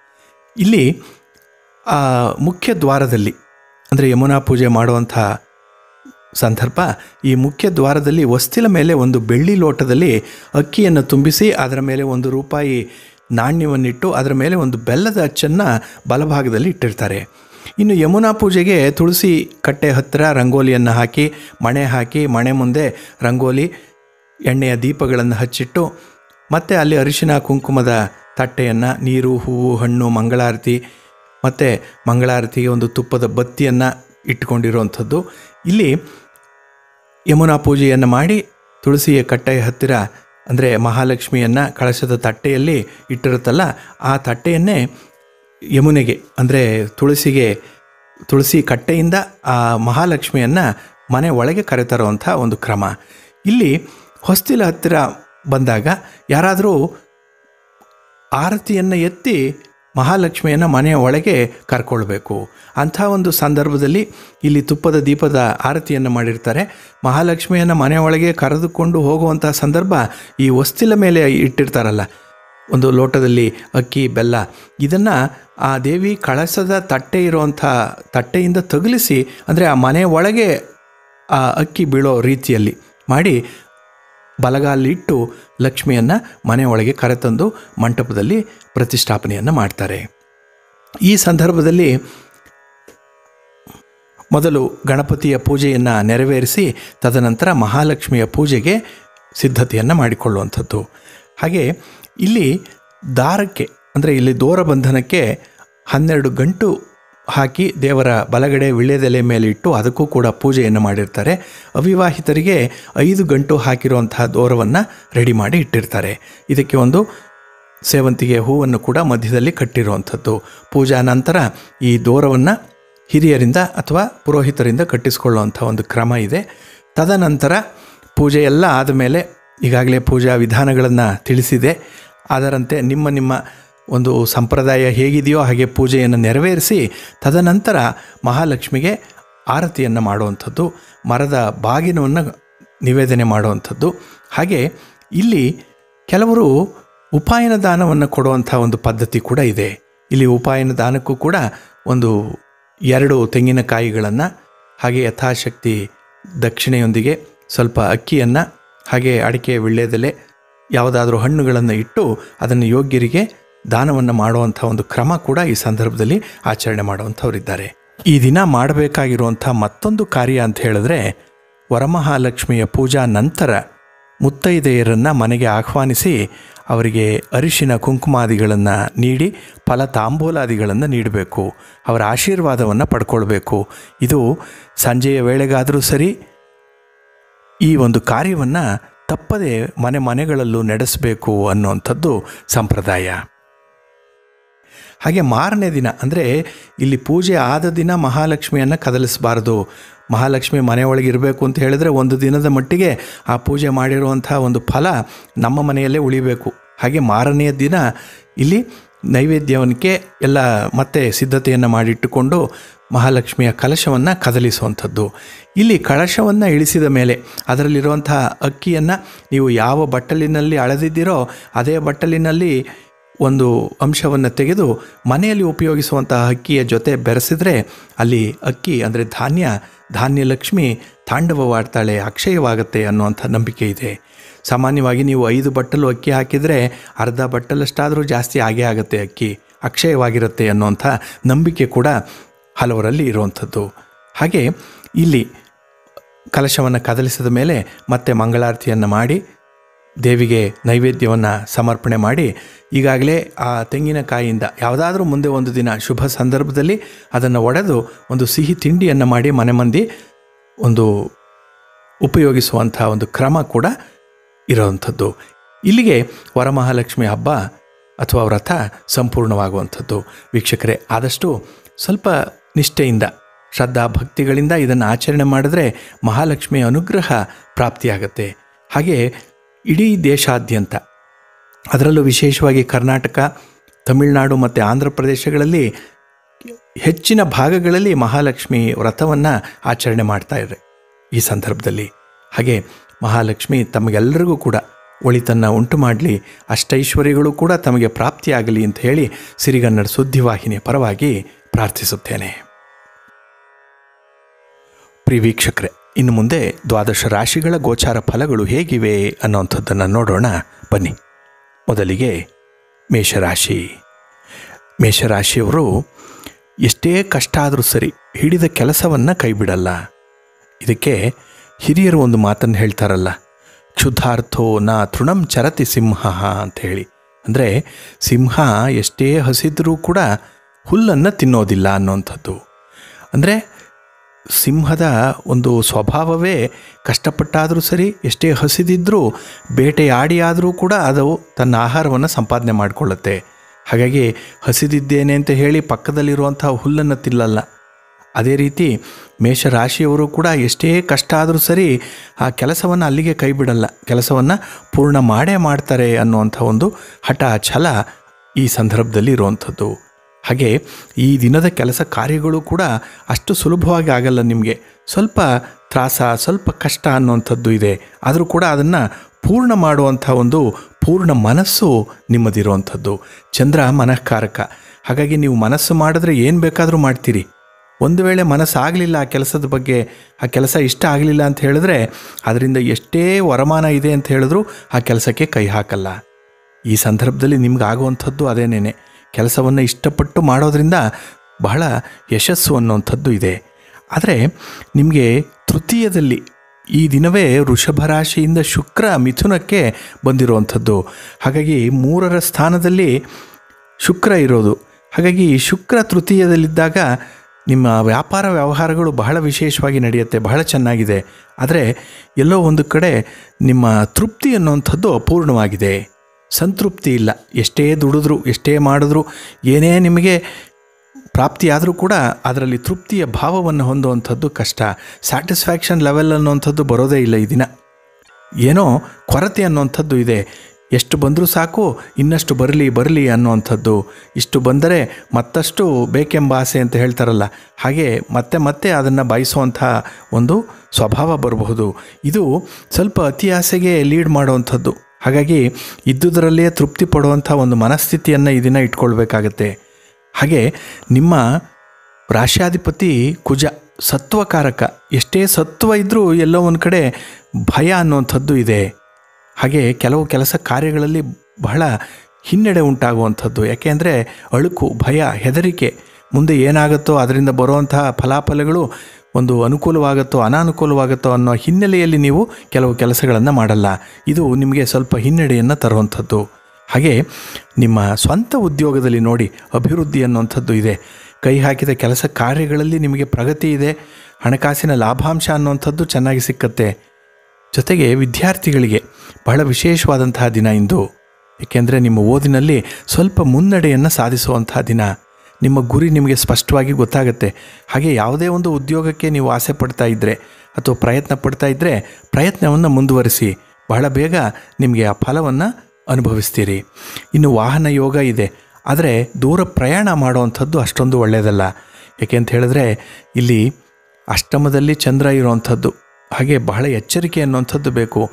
ಇಲ್ಲಿ ಹಣ ವ್ಯಯವಾಗುವಂಥದ್ದು ಅಥವಾ ಅನಾರೋಗ್ಯಕ್ಕೆ ತುತ್ತಾಗುವಂಥದ್ದು ಇನ್ನು ನಿಮ್ಮ ತುಂಬ ಬೇಕಾದಂತಹ ಸ್ನೇಹಿತರಿಂದನೇ ಕೆಲವೊಮ್ಮೆ ಅವಮಾನ ಪ್ರಸಂಗಗಳು ಒದಗಿ ಬರುವಂಥದ್ದಾಗತ್ತೆ. ನಿಮ್ಮ ಮಾತು ನಿಮ್ಮ ಕುಟುಂಬದಲ್ಲೂ ನಡೆಯಲ್ಲ ಈ ದಿನ. ಹಾಗಾಗಿ ಎಲ್ಲ ಒಂದು ಕಡೆ ಕುಟುಂಬ ಸೌಖ್ಯ ಅನ್ನುವಂಥದ್ದು ಅಷ್ಟಕ್ಕಷ್ಟೇ ಇರೋದರಿಂದ ಸ್ವಲ್ಪ ಎಚ್ಚರಿಕೆಯ ನಡೆ ಬೇಕಾಗತ್ತೆ ಈ ಸಂದರ್ಭದಲ್ಲಿ. ಹಾಗೆ ಈ ದಿನ ನಿಮ್ಮ ಒಂದು ಕಮಿಟ್ಮೆಂಟ್ ಏನಿದೆ? ಅಥವಾ ನಿಮ್ಮ ಒಂದು ಜವಾಬ್ದಾರಿಗಳೇನಿದೆ ಅದನ್ನು ಚಾಚು ತಪ್ಪದೇ ಮಾಡಿ ಮುಗಿಸುವಂಥ ಒಂದು ನಿರ್ಣಯವನ್ನು ಕೈಗೊಳ್ಳಬೇಕು ಜೊತೆಗೆ ಈ ದಿನ ಯಾವುದೇ ತೀರ್ಮಾನವನ್ನು ತೆಗೆದುಕೊಳ್ಳುವಂಥ ಸಂದರ್ಭ ಸ್ವಲ್ಪ ಭಾವುಕತೆಗೆ ಒಳಗಾಗುವಂಥ ಸಾಧ್ಯತೆ ಇದೆ. ಆದಷ್ಟು ತೀರ್ಮಾನಗಳನ್ನು ನಿಧಾನವಾಗಿ ತೆಗೆದುಕೊಂಡಷ್ಟು ಬಹಳ ಒಳ್ಳೆಯದು. ಇನ್ನು ನಾಳೆಯ ದಿನವೇ ನಿಮಗೆ ಬುಧ ಮಿಥುನದಿಂದ ಕರ್ಕಾಟಕಕ್ಕೆ ಹೋಗುವಂಥದ್ದು ಅಂದರೆ ನಾಲ್ಕರ ಸ್ಥಾನಕ್ಕೆ ಬುಧ ಹೋಗುವಂಥದ್ದು. ಇಲ್ಲಿ ಬುಧ ನಿಮಗೆ ಒಳ್ಳೆಯ ಒಂದು ಯೋಗವನ್ನು ತಂದು ಕೊಡ್ತಾ ಇದ್ದಾನೆ. ನಾಲ್ಕರ ಸ್ಥಾನದಲ್ಲಿದ್ದು. ಹಾಗಾಗಿ ಇನ್ನು ನಾಳೆಯ ಸಂಜೆಯವರೆಗೆ ಯಾವುದೇ ತೀರ್ಮಾನಗಳನ್ನಾಗಲಿ ಅಥವಾ ಯಾವುದೇ ಒಂದು ಬಂಡವಾಳವನ್ನು ಹೂಡುವಂಥದ್ದು, ಈ ದಿನ ಯಾವುದೇ ಒಂದು ಹಣಕಾಸಿನ ವ್ಯವಹಾರಗಳನ್ನು ಮಾಡುವಂಥದ್ದನ್ನು ನಿಲ್ಲಿಸ್ಬಿಡಿ. ಏಕೆಂದರೆ ಇದು ವರಮಹಾಲಕ್ಷ್ಮಿ ಹಬ್ಬ ಆದ್ದರಿಂದ ಸ್ವಲ್ಪ ಲಕ್ಷ್ಮಿಗೆ ನೀವು ಗೌರವವನ್ನು ಕೊಡಬೇಕು. ಅದಕ್ಕೆ ಸಾಲವನ್ನು ಕೊಡುವಂಥದ್ದಾಗಲಿ, ಸಾಲವನ್ನು ಪಡೆಯುವಂಥದ್ದನ್ನಾಗಲಿ ಮಾಡಬೇಡಿ ಈ ಸಂದರ್ಭ. ಒಳ್ಳೆಯದಾಗತ್ತೆ ನಿಮ್ಮ ಇಷ್ಟ ದೇವರ ಆರಾಧನೆಯನ್ನು ಮಾಡಿ. ಜೊತೆಗೆ ನೀವು ಈ ಸಂದರ್ಭದಲ್ಲಿ ವಿಷ್ಣು ಸ್ತೋತ್ರವನ್ನು ಪಠನೆ ಮಾಡಿ. ಒಳ್ಳೆಯದಾಗತ್ತೆ. ನಿಮ್ಮ ಅದೃಷ್ಟದ ದಿಕ್ಕು ಪೂರ್ವ ದಿಕ್ಕು. ವೀಕ್ಷಕರೇ, ಕೊನೆಯದಾಗಿ ಡಿಸ್ಕ್ರಿಪ್ಷನ್ನಲ್ಲಿ ನೀಡಿರುವಂಥ ನಿಮ್ಮ ರಾಶಿಯ ಬೀಜ ಮಂತ್ರವನ್ನು ಪ್ರತಿದಿನ ತಪ್ಪದೆ ಕೇಳಿಸ್ಕೊಳ್ಳಿ. ನಿಮಗೆ ಒಳ್ಳೆಯದಾಗುತ್ತೆ. ವೃಷಭ ರಾಶಿ. ವೃಷಭ ರಾಶಿಯವರಿಗೆ ಈ ದಿನ ನೀವು ಮಾಡುವಂಥ ಪ್ರತಿ ಕೆಲಸ ಕಾರ್ಯಗಳಲ್ಲೂ ಅದ್ಭುತವಾದ ಯಶಸ್ಸು ಕಾಣುವಂಥ ದಿನ. ನಿಮ್ಮ ಪ್ರಯತ್ನಗಳೆಲ್ಲ ಫಲಿಸತ್ತೆ. ನೀವು ನಿಷ್ಠೆಯಿಂದ ಮಾಡಿರುವಂಥ ಯಾವುದೇ ಕೆಲಸ ಆದರೂ ಕೂಡ ನಿಮ್ಮ ನಿರೀಕ್ಷೆಯಂತೆ ಫಲವನ್ನು ತಂದುಕೊಡುವಂಥದ್ದು. ಕಾರಣ, ನಿಮ್ಮ ರಾಶ್ಯಾಧಿಪತಿಯಾದಂತಹ ಶುಕ್ರ ಈ ದಿನದಿಂದಲೇ ಧನಸ್ಥಾನವಾದಂತಹ ಮಿಥುನ ರಾಶಿಗೆ ಪ್ರವೇಶ ಮಾಡಿರುವಂಥದ್ದು. ಹಾಗೆ ಇಲ್ಲಿ ಒಂದರಲ್ಲಿ ಅಂದರೆ ನಿಮ್ಮ ಜನ್ಮಸ್ಥಾನದಲ್ಲಿದ್ದರೂ ಕೂಡ ಅಥವಾ ಜನ್ಮರಾಶಿಯಲ್ಲಿದ್ದರೂ ಕೂಡ ದ್ವಿತೀಯದಲ್ಲಿದ್ದರೂ ಕೂಡ ಶುಕ್ರ ಉತ್ತಮ ಫಲವನ್ನು ನಿಮಗೆ ಕೊಡ್ತಾ ಇದ್ದಾನೆ. ಹಾಗೆ ದ್ವಿತೀಯದಲ್ಲಿದ್ದಾಗ ಶುಕ್ರನಿಂದ ಒಂದು ಒಳ್ಳೆಯ ಬುದ್ಧಿವಂತಿಕೆ ಚತುರತೆ ಅನ್ನುವಂಥದ್ದು ಇದೆ. ಇದು ನಿಮ್ಮ ವ್ಯಾಪಾರ ವ್ಯವಹಾರಗಳಿಗೆ ತುಂಬ ಉಪಯೋಗಕ್ಕೆ ಬರುವಂಥದ್ದು. ಯಾಕೆಂದರೆ ನಿಮ್ಮ ಒಂದು ಸ್ಟ್ರಾಟಜಿ ಏನಿದೆ, ಅದು ವಿಶೇಷವಾಗಿ ಈ ದಿನ ಬದಲಾವಣೆ ಆಗೋದರಿಂದ ಹೆಚ್ಚಿನ ಲಾಭಾಂಶವನ್ನು ನೀವು ನಿರೀಕ್ಷೆ ಮಾಡ್ಬೋದು. ಹಾಗೆ ಈ ಶುಕ್ರ ನಿಮಗೆ ಕೊಡುವಂಥ ಒಂದು ಸುಖ ಇರಲಿ, ದಾಂಪತ್ಯ ಸುಖ ಇರಲಿ, ಬಹಳ ವಿಶೇಷವಾಗಿ ಈ ದಿನ ನಿಮ್ಮ ಕುಟುಂಬದಲ್ಲಿ ಸುಖ, ಸಂತೋಷದಿಂದ ಇರ್ತೀರಿ. ಒಳ್ಳೆಯ ಸಂತೋಷವನ್ನು, ನೆಮ್ಮದಿಯನ್ನು ಅನುಭವಿಸ್ತೀರಿ ಈ ಸಂದರ್ಭದಲ್ಲಿ. ಹಾಗೆ ಏಳರ ಸ್ಥಾನದಲ್ಲಿ, ಕಳತ್ರ ಸ್ಥಾನದಲ್ಲಿ ಚಂದ್ರ ಇರುವಂಥದ್ದು. ಇಲ್ಲಿ ಶುಕ್ರನಾಗಲಿ ಅಥವಾ ಚಂದ್ರನಾಗಲಿ ಇವರಿಬ್ಬರೂ ಕೂಡ ಒಂದು ಒಳ್ಳೆಯ ಭಾವದಲ್ಲಿದ್ದರೆ ಅತ್ಯುತ್ತಮವಾದಂಥ ಒಂದು ಸುಖ, ನೆಮ್ಮದಿ ಇರುತ್ತೆ. ಹಾಗೆ ದಾಂಪತ್ಯ ಸುಖ ಈ ದಿನ ಚೆನ್ನಾಗಿದೆ ಚಂದ್ರನಿಂದ. ಜೊತೆಗೆ ಯಾವುದೇ ಒಂದು ವ್ಯಾಪಾರ ವ್ಯವಹಾರಗಳಲ್ಲೂ ಕೂಡ ಅದ್ಭುತ ಯಶಸ್ಸು ಒಳ್ಳೆಯ ಆದಾಯ ಮತ್ತು ಆ ಒಂದು ಪ್ರಯತ್ನ ಬಹಳ ಪ್ರಗತಿಶೀಲವಾಗಿರುತ್ತೆ.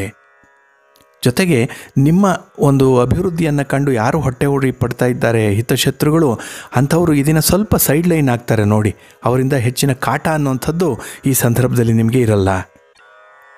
ಜೊತೆಗೆ ಸಾರ್ವಜನಿಕ ಕ್ಷೇತ್ರದಲ್ಲಿ ಮನ್ನಣೆ ಸಿಕ್ಕುವಂಥದ್ದು. ಅದರಲ್ಲೂ ವಿಶೇಷವಾಗಿ ರಾಜಕೀಯ ಕ್ಷೇತ್ರದಲ್ಲಿರುವಂಥವ್ರಿಗೆ ಒಳ್ಳೆಯ ದಿನ ಇಂದು. ಶತ್ರುಗಳ ಬಾಧೆ ನಷ್ಟವಾಗುವಂಥದ್ದು ಈ ದಿನ. ಅಂದರೆ ಶತ್ರುಗಳ ಬಾಧೆ ಇಲ್ಲದಂತೆ ಆಗುವಂಥದ್ದು. ಯಾಕೆಂದರೆ ನಿಮ್ಮ ಒಂದು ಪ್ರಖರತೆಗೆ, ಕಾರ್ಯವೈಖರಿಗೆ ಅವರೇ ಒಂದು ಮೆಸ್ಮರೈಸ್ ಆಗಿಬಿಡ್ತಾರೆ. ಹಾಗಾಗಿ ಸ್ವಲ್ಪ ಹಿಂದಕ್ಕೆ ಸರಿದೊಟ್ಟು ಹೋಗ್ತಾರೆ ಅಂಥವರು. ನಿಮ್ಮ ಆರೋಗ್ಯದಲ್ಲಿ ವ್ಯತ್ಯಾಸ ಆದರೂ ಕೂಡ ಅದನ್ನು ಕಾಯ್ದುಕೊಳ್ಳುವಂಥ ಒಂದು ಪರಿ ನಿಮಗೆ ಗೊತ್ತಿದೆ. ಹೇಗೆ ಆರೋಗ್ಯವನ್ನು ಮೇಂಟೈನ್ ಮಾಡಬೇಕು ಅನ್ನುವಂಥದ್ದು, ಅದಕ್ಕಾಗಿ ಸಾತ್ವಿಕ ಆಹಾರವನ್ನು ತೆಗೆದುಕೊಳ್ಳುವಂಥದ್ದು, ಸಮತೋಲನ ಆಹಾರಕ್ಕೆ ಮೊರೆ ಹೋಗುವಂಥದ್ದು, ಈ ರೀತಿಯ ಕೆಲವು ಆಹಾರದ ಬಗ್ಗೆ ತುಂಬ ಜ್ಞಾನ ಇದೆ, ತುಂಬ ನಾಲೆಡ್ಜ್ ಅನ್ನುವಂಥದ್ದು ಇದೆ. ಆದರೆ ಮನೆಯಲ್ಲಿ ಇರುವಂಥ ಹಿರಿಯರ ಆರೋಗ್ಯ ಸಮಸ್ಯೆ, ಇದ್ರ ಬಗ್ಗೆ ಸ್ವಲ್ಪ ಲಕ್ಷ್ಯವನ್ನು ವಹಿಸಬೇಕು ಈ ಸಂದರ್ಭದಲ್ಲಿ. ಇನ್ನು ಸರ್ಕಾರಿ ಕೆಲಸ ಕಾರ್ಯಗಳಲ್ಲಿ ತುಂಬ ಪ್ರಗತಿ ಇರುವಂಥದ್ದು. ಯಾವುದೇ ಕಚೇರಿಯಲ್ಲಿ ಕೆಲಸ ಪೆಂಡಿಂಗ್ ಅನ್ನೋಂಥದ್ದಿದ್ದರೆ ಈ ದಿನ ಸ್ವಲ್ಪ ಮುಂದುವರಿಯುವಂಥದ್ದು ಅದು ನಿಮ್ಮ ಪರವಾಗಿ ಆಗುವಂತಹ ಸಾಧ್ಯತೆಗಳು ಈ ದಿನ ಹೆಚ್ಚಾಗಿ ಕಾಣಿಸ್ತಾ ಇದೆ. ಇನ್ನು ಏಳರಲ್ಲಿ ಚಂದ್ರ ಇದ್ದಾಗ ನಿಮಗೆ ಸಂತಾನ ಭಾಗ್ಯವಾಗಲಿ, ಉದ್ಯೋಗ ಭಾಗ್ಯವಾಗಲಿ, ವಾಹನ ಭಾಗ್ಯವಾಗಲಿ ನೀವು ಬಯಸಿದಂತೆ ಆಗುವಂಥದ್ದು. ಅದರಲ್ಲೂ ವರಮಹಾಲಕ್ಷ್ಮಿ ಹಬ್ಬ ಈ ದಿನ ಲಕ್ಷ್ಮಿಯ ಕಟಾಕ್ಷ ವಿಶೇಷವಾಗಿ ನಿಮಗೆ ಇರುವಂಥದ್ದು. ಹಾಗಾಗಿ ಯಾವುದೇ ಒಂದು ಸಂದರ್ಭದಲ್ಲೂ ಕೂಡ ಸಾಲವನ್ನಾಗಿ ಈ ದಿನ ಕೊಡಬೇಡಿ. ಸಾಲಕ್ಕೆ ಜಾಮೀನಾಗಿ ನಿಲ್ಲುವಂಥದ್ದು ಅಥವಾ ಯಾವುದೋ ಒಂದು ಚಿನ್ನ, ಬೆಳ್ಳಿಯ ಒಡವೆ ವಸ್ತ್ರಗಳನ್ನು ಬೇರೆಯವರಿಗೆ ಕೊಡುವಂಥ ಒಂದು ಪ್ರಯತ್ನವನ್ನು ಈ ದಿನ ಮಾಡಬೇಡಿ. ಬಹಳ ವಿಶೇಷವಾಗಿ ಈ ಸಂದರ್ಭ ಮಹಾಲಕ್ಷ್ಮಿಯ ಕೃಪೆ ನಿಮಗಿರುವಂಥದ್ದು. ಜೊತೆಗೆ ಅನುಗ್ರಹ ನೋಡಿ ಭಗವಂತನದ್ದು. ಸಾಕ್ಷಾತ್ ವಿಷ್ಣುವಿನ ಅನುಗ್ರಹ ವಿಶೇಷವಾಗಿ ನಿಮ್ಮ ಮೇಲಿರೋದರಿಂದ ಈ ದಿನದ ಕೆಲಸ ಕಾರ್ಯಗಳಲ್ಲಿ ಅದ್ಭುತ ಯಶಸ್ಸು ಜೊತೆಗೆ ನೆಮ್ಮದಿ ಅನ್ನುವಂಥದ್ದು ಪ್ರಾಪ್ತಿಯಾಗುತ್ತೆ. ಸಂತೋಷ ಇದೆ.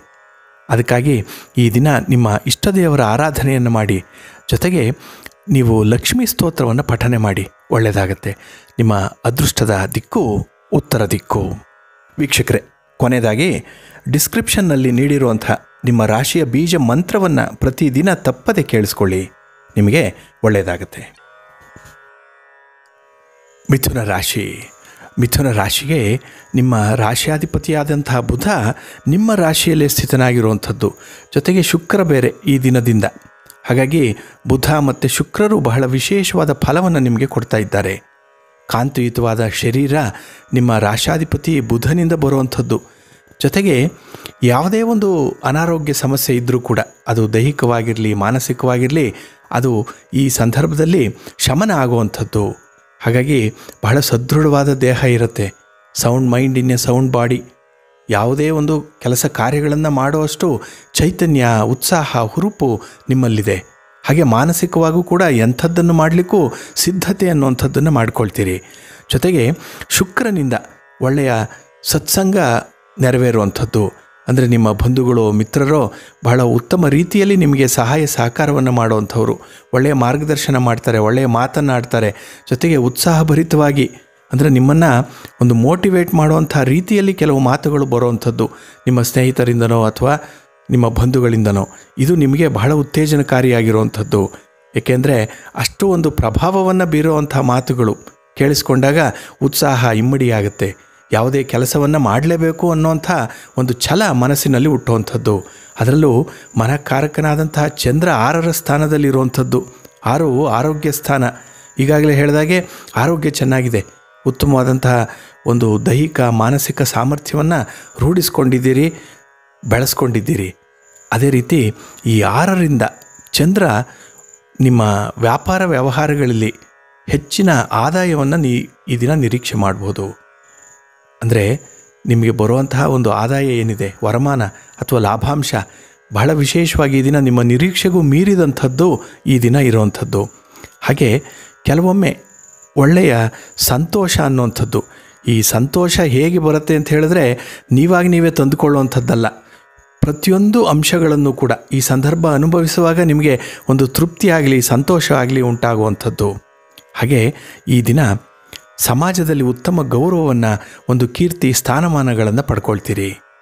ಇನ್ನು ದೇವರ ದರ್ಶನ ಮಾಡುವಂಥದ್ದು ಅಥವಾ ಯಾವುದಾದ್ರೂ ಒಂದು ತೀರ್ಥಯಾತ್ರೆಗೆ ಅಥವಾ ಭಗವಂತನ ದರ್ಶನಕ್ಕೆ ಹೋಗಿ ಬರುವಂತಹ ಒಂದು ಕಾರ್ಯಕ್ರಮ ಅದರ ಹಿನ್ನೆಲೆಯಲ್ಲಿ ಒಂದು ಪೂರ್ವ ಸಿದ್ಧತೆ ಆಗುವಂಥ ಸಾಧ್ಯತೆ ಕೂಡ ಇದೆ.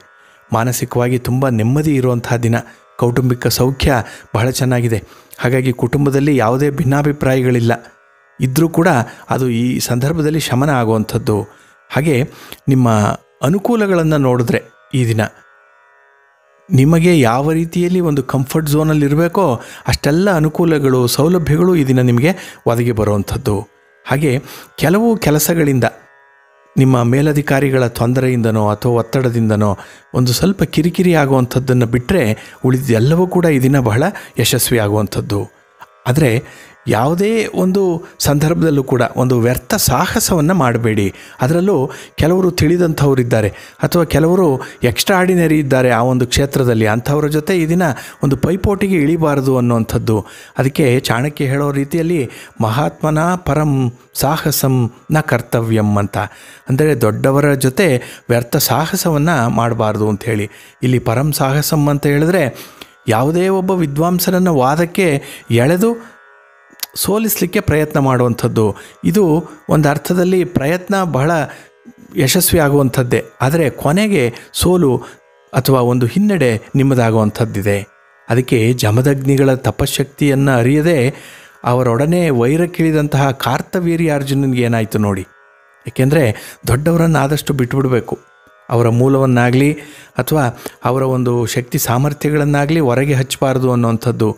ಅದೇ ರೀತಿ ವಸಿಷ್ಠರ ವೈರ ಕೌಶಿಕ ವಿಶ್ವಾಮಿತ್ರನಿಗೆ ಏನು ಮಾಡ್ತು? ಕೃಷ್ಣ ವಿರೋಧ ಶಿಶುಪಾಲನಿಗೆ ಏನಾಯಿತು? ಹಾಗಾಗಿ ಶಿಶುಪಾಲನಿಗೆ ಕೊನೆಗೆ ಒಂದು ಅವಸಾನ ಪ್ರಾಪ್ತಿ ಆಗತ್ತೆ. ಹಾಗೆ ಯಾವುದೇ ಒಬ್ಬ ತಿಳಿದಂಥವರಾಗಲಿ, ಬಲ್ಲರಾಗಲಿ, ಶ್ರೀಮಂತರಾಗಲಿ ಅಥವಾ ಬಡವನ ಕೋಪ ದವಡೆಗೆ ಮೂಲ ಅಂತ ಹೇಳ್ತಾರಲ್ಲ, ಹಾಗಾಗಿ ಇದ್ದುದರಲ್ಲಿಯೇ ತೃಪ್ತಿಯನ್ನು ಪಡಬೇಕು. ಯಾವುದೇ ಒಂದು ಸಾಹಸಕ್ಕೆ ಕೈ ಹಾಕಬಾರ್ದು ಅನ್ನುವಂಥದ್ದು ಇದರ ಸಾರ ಅಷ್ಟೇ ಹಾಗೆ ಒಂದು ಅಡ್ವೆಂಚರಸ್ ಆಗಿರೋ ಕೆಲಸವನ್ನು ಈ ಮಾಡಬೇಡಿ. ಬದಲಿಗೆ ಈ ದಿನ ಹೆಚ್ಚಿನ ಒಂದು ಸಮಯವನ್ನು ಭಗವಂತನ ಆರಾಧನೆಯಲ್ಲಿ ತೊಡಗಿಸಿಕೊಳ್ಳಿ. ಈ ದಿನ ವರಮಹಾಲಕ್ಷ್ಮಿ ವ್ರತ. ಹಾಗಾಗಿ ಮಹಾಲಕ್ಷ್ಮಿ ಅಮ್ಮನವರ ಒಂದು ಪೂಜೆಯನ್ನು ಮಾಡುವಂಥದ್ದು ಅಥವಾ ವ್ರತ ಏನಾದರೂ ಇದ್ದರೆ ನಿಮ್ಮ ಸಂಪ್ರದಾಯದ ಪ್ರಕಾರ ಒಂದು ಪುಟ್ಟದಾದಂತಹ ಒಂದು ಅರ್ಚನೆಯನ್ನಾದರೂ ಮಹಾಲಕ್ಷ್ಮಿಗೆ ಮಾಡಿ ಮಹಾಲಕ್ಷ್ಮಿಯ ಒಂದು ಅನುಗ್ರಹ ನಿಮಗೆ ಪ್ರಾಪ್ತಿಯಾಗುತ್ತೆ. ಈ ಸಂದರ್ಭ ನೀವು ಲಕ್ಷ್ಮೀ ಸ್ತೋತ್ರವನ್ನು ಪಠನೆ ಮಾಡಿ ಒಳ್ಳೆಯದಾಗತ್ತೆ. ನಿಮ್ಮ ಅದೃಷ್ಟದ ದಿಕ್ಕು ಪೂರ್ವ ದಿಕ್ಕು. ವೀಕ್ಷಕರೇ, ಕೊನೆಯದಾಗಿ ಡಿಸ್ಕ್ರಿಪ್ಷನ್ನಲ್ಲಿ ನೀಡಿರುವಂಥ ನಿಮ್ಮ ರಾಶಿಯ ಬೀಜ ಮಂತ್ರವನ್ನು ಪ್ರತಿದಿನ ತಪ್ಪದೆ ಕೇಳಿಸ್ಕೊಳ್ಳಿ. ನಿಮಗೆ ಒಳ್ಳೆಯದಾಗುತ್ತೆ.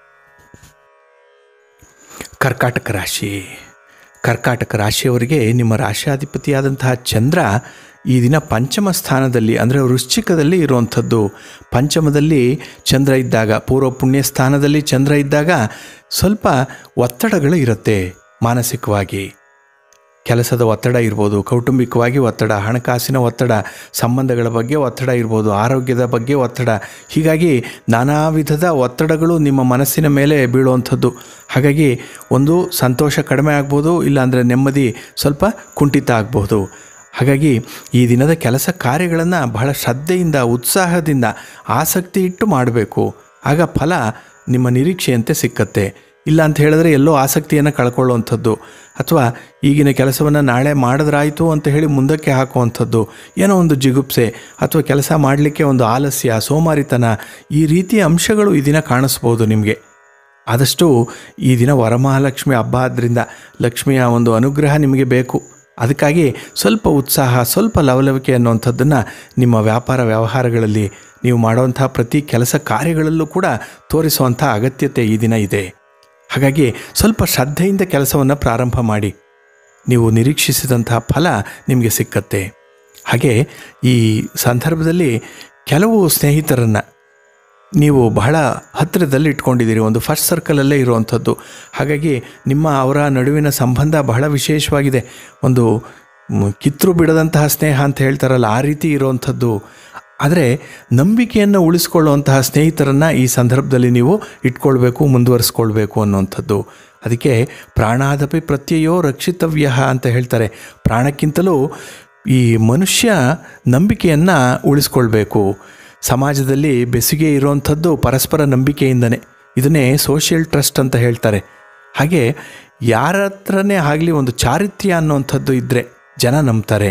ಅದನ್ನು ಬಿಟ್ಟು ಗಳಿಗೆಗೊಂದು ಮಾತಾಡೋವಂಥದ್ದು, ನಡತೆ ಬದಲಾವಣೆ ಮಾಡುವಂಥದ್ದು, ಅಥವಾ ಕೃತಜ್ಞರಾಗಿ ಇರುವಂಥದ್ದು, ಇನ್ನು ಉಪಕಾರವನ್ನು ಮಾಡಿದ್ರೆ ಪ್ರತಿ ಉಪಕಾರವನ್ನು ಮಾಡದಂಥ ಸ್ಥಿತಿಯಲ್ಲಿ ಇರುವಂಥದ್ದು, ಅಥವಾ ಅಪಪ್ರಚಾರ ಮಾಡುವಂಥದ್ದು, ಅವಮಾನ ಮಾಡುವಂಥದ್ದು, ಚುಚ್ಚಿ ಚುಚ್ಚಿ ಮಾತಾಡುವಂತಹ ಸ್ನೇಹಿತರು ಇದ್ದಾಗ ಅಂಥವ್ರನ್ನ ಆದಷ್ಟು ದೂರ ಇಡುವಂಥದ್ದು ಒಳ್ಳೆಯದು ಯಾರೂ ಕೂಡ ನಂಬಲ್ಲ ಅಂಥವ್ರನ್ನ ನೀವು ಕೂಡ ನಂಬಬಾರ್ದು ಅನ್ನೋವಂಥದ್ದು.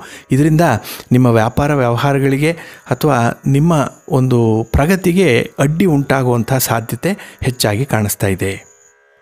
ಇನ್ನು ಈ ಸಂದರ್ಭದಲ್ಲಿ ನೀವು ಮಾಡುವಂಥ ಒಂದು ಕೆಲಸ ಕಾರ್ಯಗಳಲ್ಲಿ ಸ್ವಲ್ಪ ಪ್ರಗತಿ ಅನ್ನುವಂಥದ್ದು ಇದೆ. ಉದ್ಯೋಗದಲ್ಲಿ ಬಡ್ತಿ ಸಿಕ್ಕುವಂಥದ್ದು ಅಥವಾ ಹೆಚ್ಚಿನ ಜವಾಬ್ದಾರಿಗಳು ಸಿಗುವಂಥದ್ದು ಈ ದಿನ. ಹಾಗೆ ವಾಹನ ಚಾಲೆಯಲ್ಲಿ ನೋಡಿ ಸ್ವಲ್ಪ ಎಚ್ಚರಿಕೆ ಇರಬೇಕು. ವಾಹನ ಸೌಖ್ಯ ಅಷ್ಟಾಗಿ ಇಲ್ಲ ನಿಮಗೆ. ಇನ್ನು ಸ್ವಲ್ಪ ಕಳ್ಳತನದಿಂದಲೋ ಅಥವಾ ಅಗ್ನಿಯಿಂದಲೋ ಭೀತಿಗಳು ಉಂಟಾಗುವಂಥದ್ದು, ಇದು ಸ್ವಲ್ಪ ಅವಘಡವನ್ನು ತರುವಂಥದ್ದೇ. ಹಾಗಾಗಿ ಸ್ವಲ್ಪ ಎಚ್ಚರಿಕೆ ಈ ದಿನದ ಯಾವುದೇ ಕೆಲಸವನ್ನು ಮಾಡುವಂಥ ಸಂದರ್ಭದಲ್ಲೂ ಸ್ವಲ್ಪ ಮೈಯೆಲ್ಲ ಕಣ್ಣಾಗಿರಬೇಕು ನಿಮಗೆ. ಇನ್ನು ನಂಬಿದ ಜನರಿಂದ ಸ್ವಲ್ಪ ನೆಮ್ಮದಿಗೆ ಭಂಗ ಬರುವಂಥ ಪ್ರಸಂಗಗಳು ಬರಬಹುದು. ಏನೋ ಮಾತಿಗೆ ಮಾತು ಬೆಳೆಯುವಂಥದ್ದು, ಒಂದು ಆರ್ಗ್ಯುಮೆಂಟ್ ಆಗುವಂಥದ್ದು ಇರ್ಬೋದು, ಅಥವಾ ನಿಮಗೆ ತೀರಾ ಬೇಕಾದವರೇ ಏನೋ ಒಂದು ಸಣ್ಣ ಪುಟ್ಟ ವಿಚಾರಗಳಿಗೂ ಕೂಡ ಮನಸ್ತಾಪವನ್ನು ಮಾಡುವಂಥ ಸಾಧ್ಯತೆಗಳು ಕೂಡ ಈ ದಿನ ಕಾಣಿಸ್ತಾ ಇದೆ. ಕುಟುಂಬದಲ್ಲಿ ಒಂದು ಅರ್ಥದಲ್ಲಿ ಪ್ರೀತಿ ಇದೆ, ಆದರೆ ಅದನ್ನು ಅನುಭವಿಸುವಂಥ ವ್ಯವಧಾನ ನಿಮ್ಮಲ್ಲಿಲ್ಲ. ಹಾಗೆ ಪ್ರತಿಯೊಂದು ಸಣ್ಣ ಪುಟ್ಟ ವಸ್ತುಗಳಲ್ಲೂ ಕೂಡ ಒಂದು ಸೌಂದರ್ಯವನ್ನು ನೋಡುವಂಥದ್ದು, ಅದನ್ನು ಅನುಭವಿಸುವಂಥ ಒಂದು ಕಲೆಗಾರಿಕೆಯನ್ನು ಬೆಳೆಸ್ಕೊಳ್ಬೇಕು. ಹಾಗೆ ಇದ್ದುದರಲ್ಲಿ ತೃಪ್ತಿಯನ್ನು ಪಡಬೇಕು ಈ ಸಂದರ್ಭ. ಅದಕ್ಕಾಗಿ ನಿಮ್ಮ ಇಷ್ಟದೇವರ ಆರಾಧನೆಯನ್ನು ಮಾಡಿ. ಜೊತೆಗೆ ಈ ದಿನ ನೀವು ಶ್ರೀದೇವಿ ಸ್ತೋತ್ರವನ್ನು ಪಠನೆ ಮಾಡಿ. ಇನ್ನು ನಿಮ್ಮ ಮನೆಯಲ್ಲಿನ ಕೆಲವು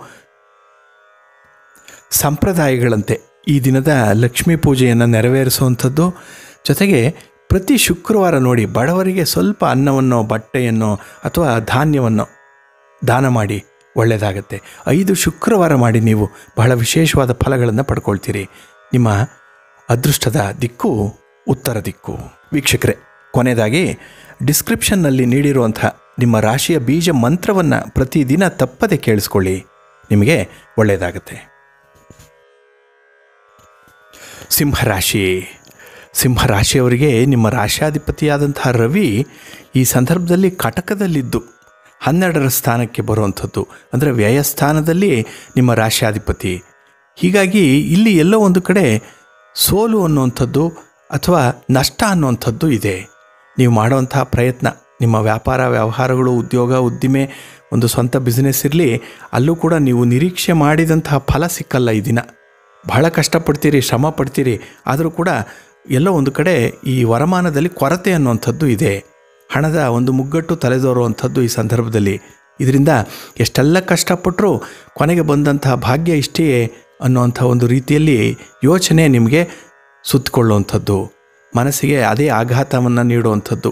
ಹಾಗಾಗಿ ಮನಃಕಾರಕನಾದಂಥ ಚಂದ್ರ ಈ ಸಂದರ್ಭದಲ್ಲಿ ಬೇರೆ ನಿಮಗೆ ನಾಲ್ಕರ ಸ್ಥಾನದಲ್ಲಿ ಇರುವಂಥದ್ದು.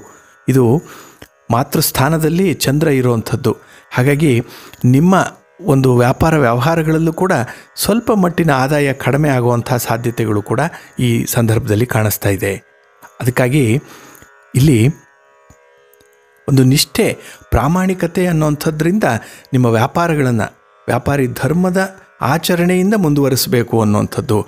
ಯಾರು ಏನೇ ಮಾಡಲಿ, ಒಂದು ಕಟ್ ಶಾರ್ಟ್ ಅಥವಾ ಒಂದು ಬೈಪಾಸ್ ಹಿಡ್ಕೊಂಡು ಅವರು ಬೇಗ ಗುರಿಯನ್ನು ತಲುಪ್ಬೋದು. ಆದರೆ slow and steady wins the race ಅಂತ ಹೇಳ್ತಾರಲ್ಲ, ಹಾಗೆ ನಿಧಾನವಾದರೂ ಕೂಡ ನಿಮ್ಮ ಒಂದು ಕೆಲಸದಲ್ಲಿ ಅಭಿವೃದ್ಧಿ ಪ್ರಗತಿ ಅನ್ನುವಂಥದ್ದು ಕಾಣಬೇಕು. ಇದು ಲಾಂಗ್ ಲಾಸ್ಟಿಂಗ್ ಆಗಿರುವಂಥದ್ದು. ಇದು ಪರ್ಮನೆಂಟ್ ಇದು. ಹಾಗಾಗಿ ಎಷ್ಟೇ ಒಂದು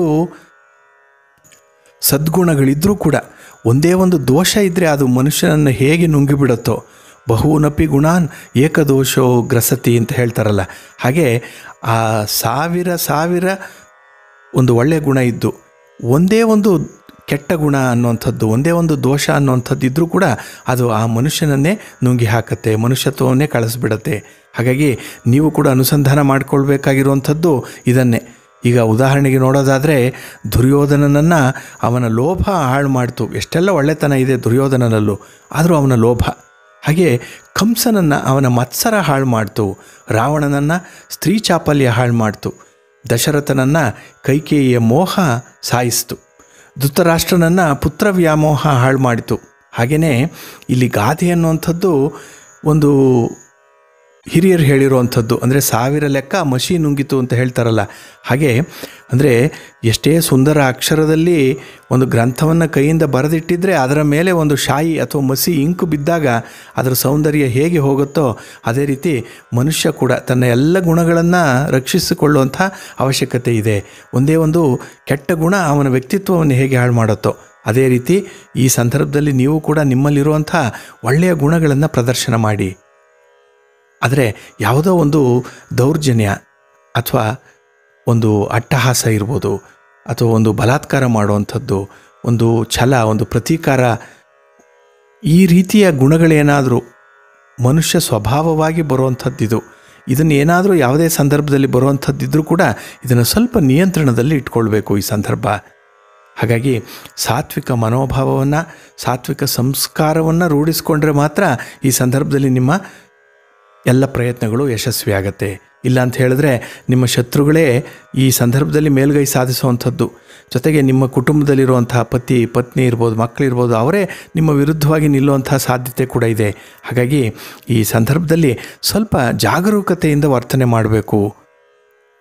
ಜೊತೆಗೆ ವ್ಯಾಪಾರ ಉದ್ಯೋಗದಲ್ಲಿ ಸ್ವಲ್ಪ ಲಾಭಾಂಶ ಅನ್ನುವಂಥದ್ದು, ಅಭಿವೃದ್ಧಿ ಅನ್ನುವಂಥದ್ದು ಇದೆ. ಯಾರಿಗೆ ಇದು ಕನ್ಸಿಸ್ಟೆನ್ಸಿಯನ್ನು ಯಾರು ಮೇಂಟೈನ್ ಮಾಡ್ತಾ ಇದ್ದಾರೋ ಅಂಥವ್ರಿಗಿದೆ. ಸ್ತ್ರೀಯರಿಗೆ ನೋಡಿ ಈ ದಿನ ತುಂಬ ಅನುಕೂಲಕರವಾಗಿರುವಂಥ ದಿನ ಇದು. ಅನಿರೀಕ್ಷಿತವಾಗಿ ಒಂದು ಲಾಭಾಂಶ ಸಿಕ್ಕುವಂಥದ್ದು, ದ್ರವ್ಯ ಲಾಭ ಆಗುವಂಥದ್ದು. ಯಾಕೆಂದರೆ ವರಮಹಾಲಕ್ಷ್ಮಿ ವ್ರತ ಒಂದು, ಆ, ಮಹಾಲಕ್ಷ್ಮಿಯ ಅನುಗ್ರಹ ಬಹಳ ವಿಶೇಷವಾಗಿ ಈ ದಿನ ಸ್ತ್ರೀಯರ ಮೇಲೆ ಇರುವಂಥದ್ದು.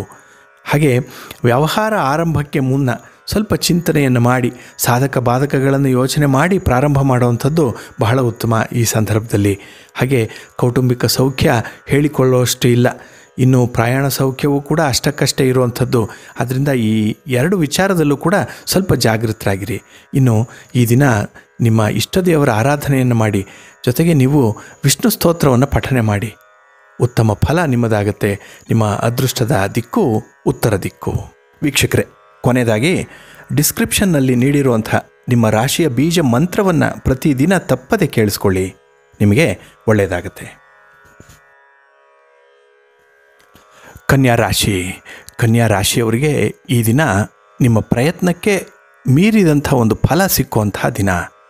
ಸರ್ಕಾರದಿಂದ ಒಂದು ಆದಾಯ ಇದೆ.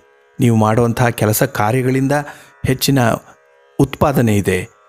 ಅಂದರೆ ವರಮಾನ ಅನ್ನುವಂಥದ್ದು ಇದೆ. ನೀವು ಮಾಡುವಂಥ ಪ್ರತಿ ವ್ಯಾಪಾರ ವ್ಯವಹಾರಗಳಲ್ಲಿ, ಆರ್ಥಿಕ ಚಟುವಟಿಕೆಗಳಲ್ಲಿ ಒಂದು ಲಾಭಾಂಶ ಇದೆ. ಒಟ್ಟಾರೆ ನಿಮ್ಮ ಒಂದು ಈ ದಿನದ ಸ್ಥಿತಿಯನ್ನು ತೆಗೆದುಕೊಂಡ್ರೆ, ಹಣಕಾಸಿನ ವ್ಯವಹಾರಗಳಲ್ಲಿ ಬಹಳ ಅದ್ಭುತವಾದಂತಹ ಸ್ಥಿತಿಯಲ್ಲಿದ್ದೀರಿ. ಯಾವುದಕ್ಕೂ ಕೊರತೆ ಇಲ್ಲ.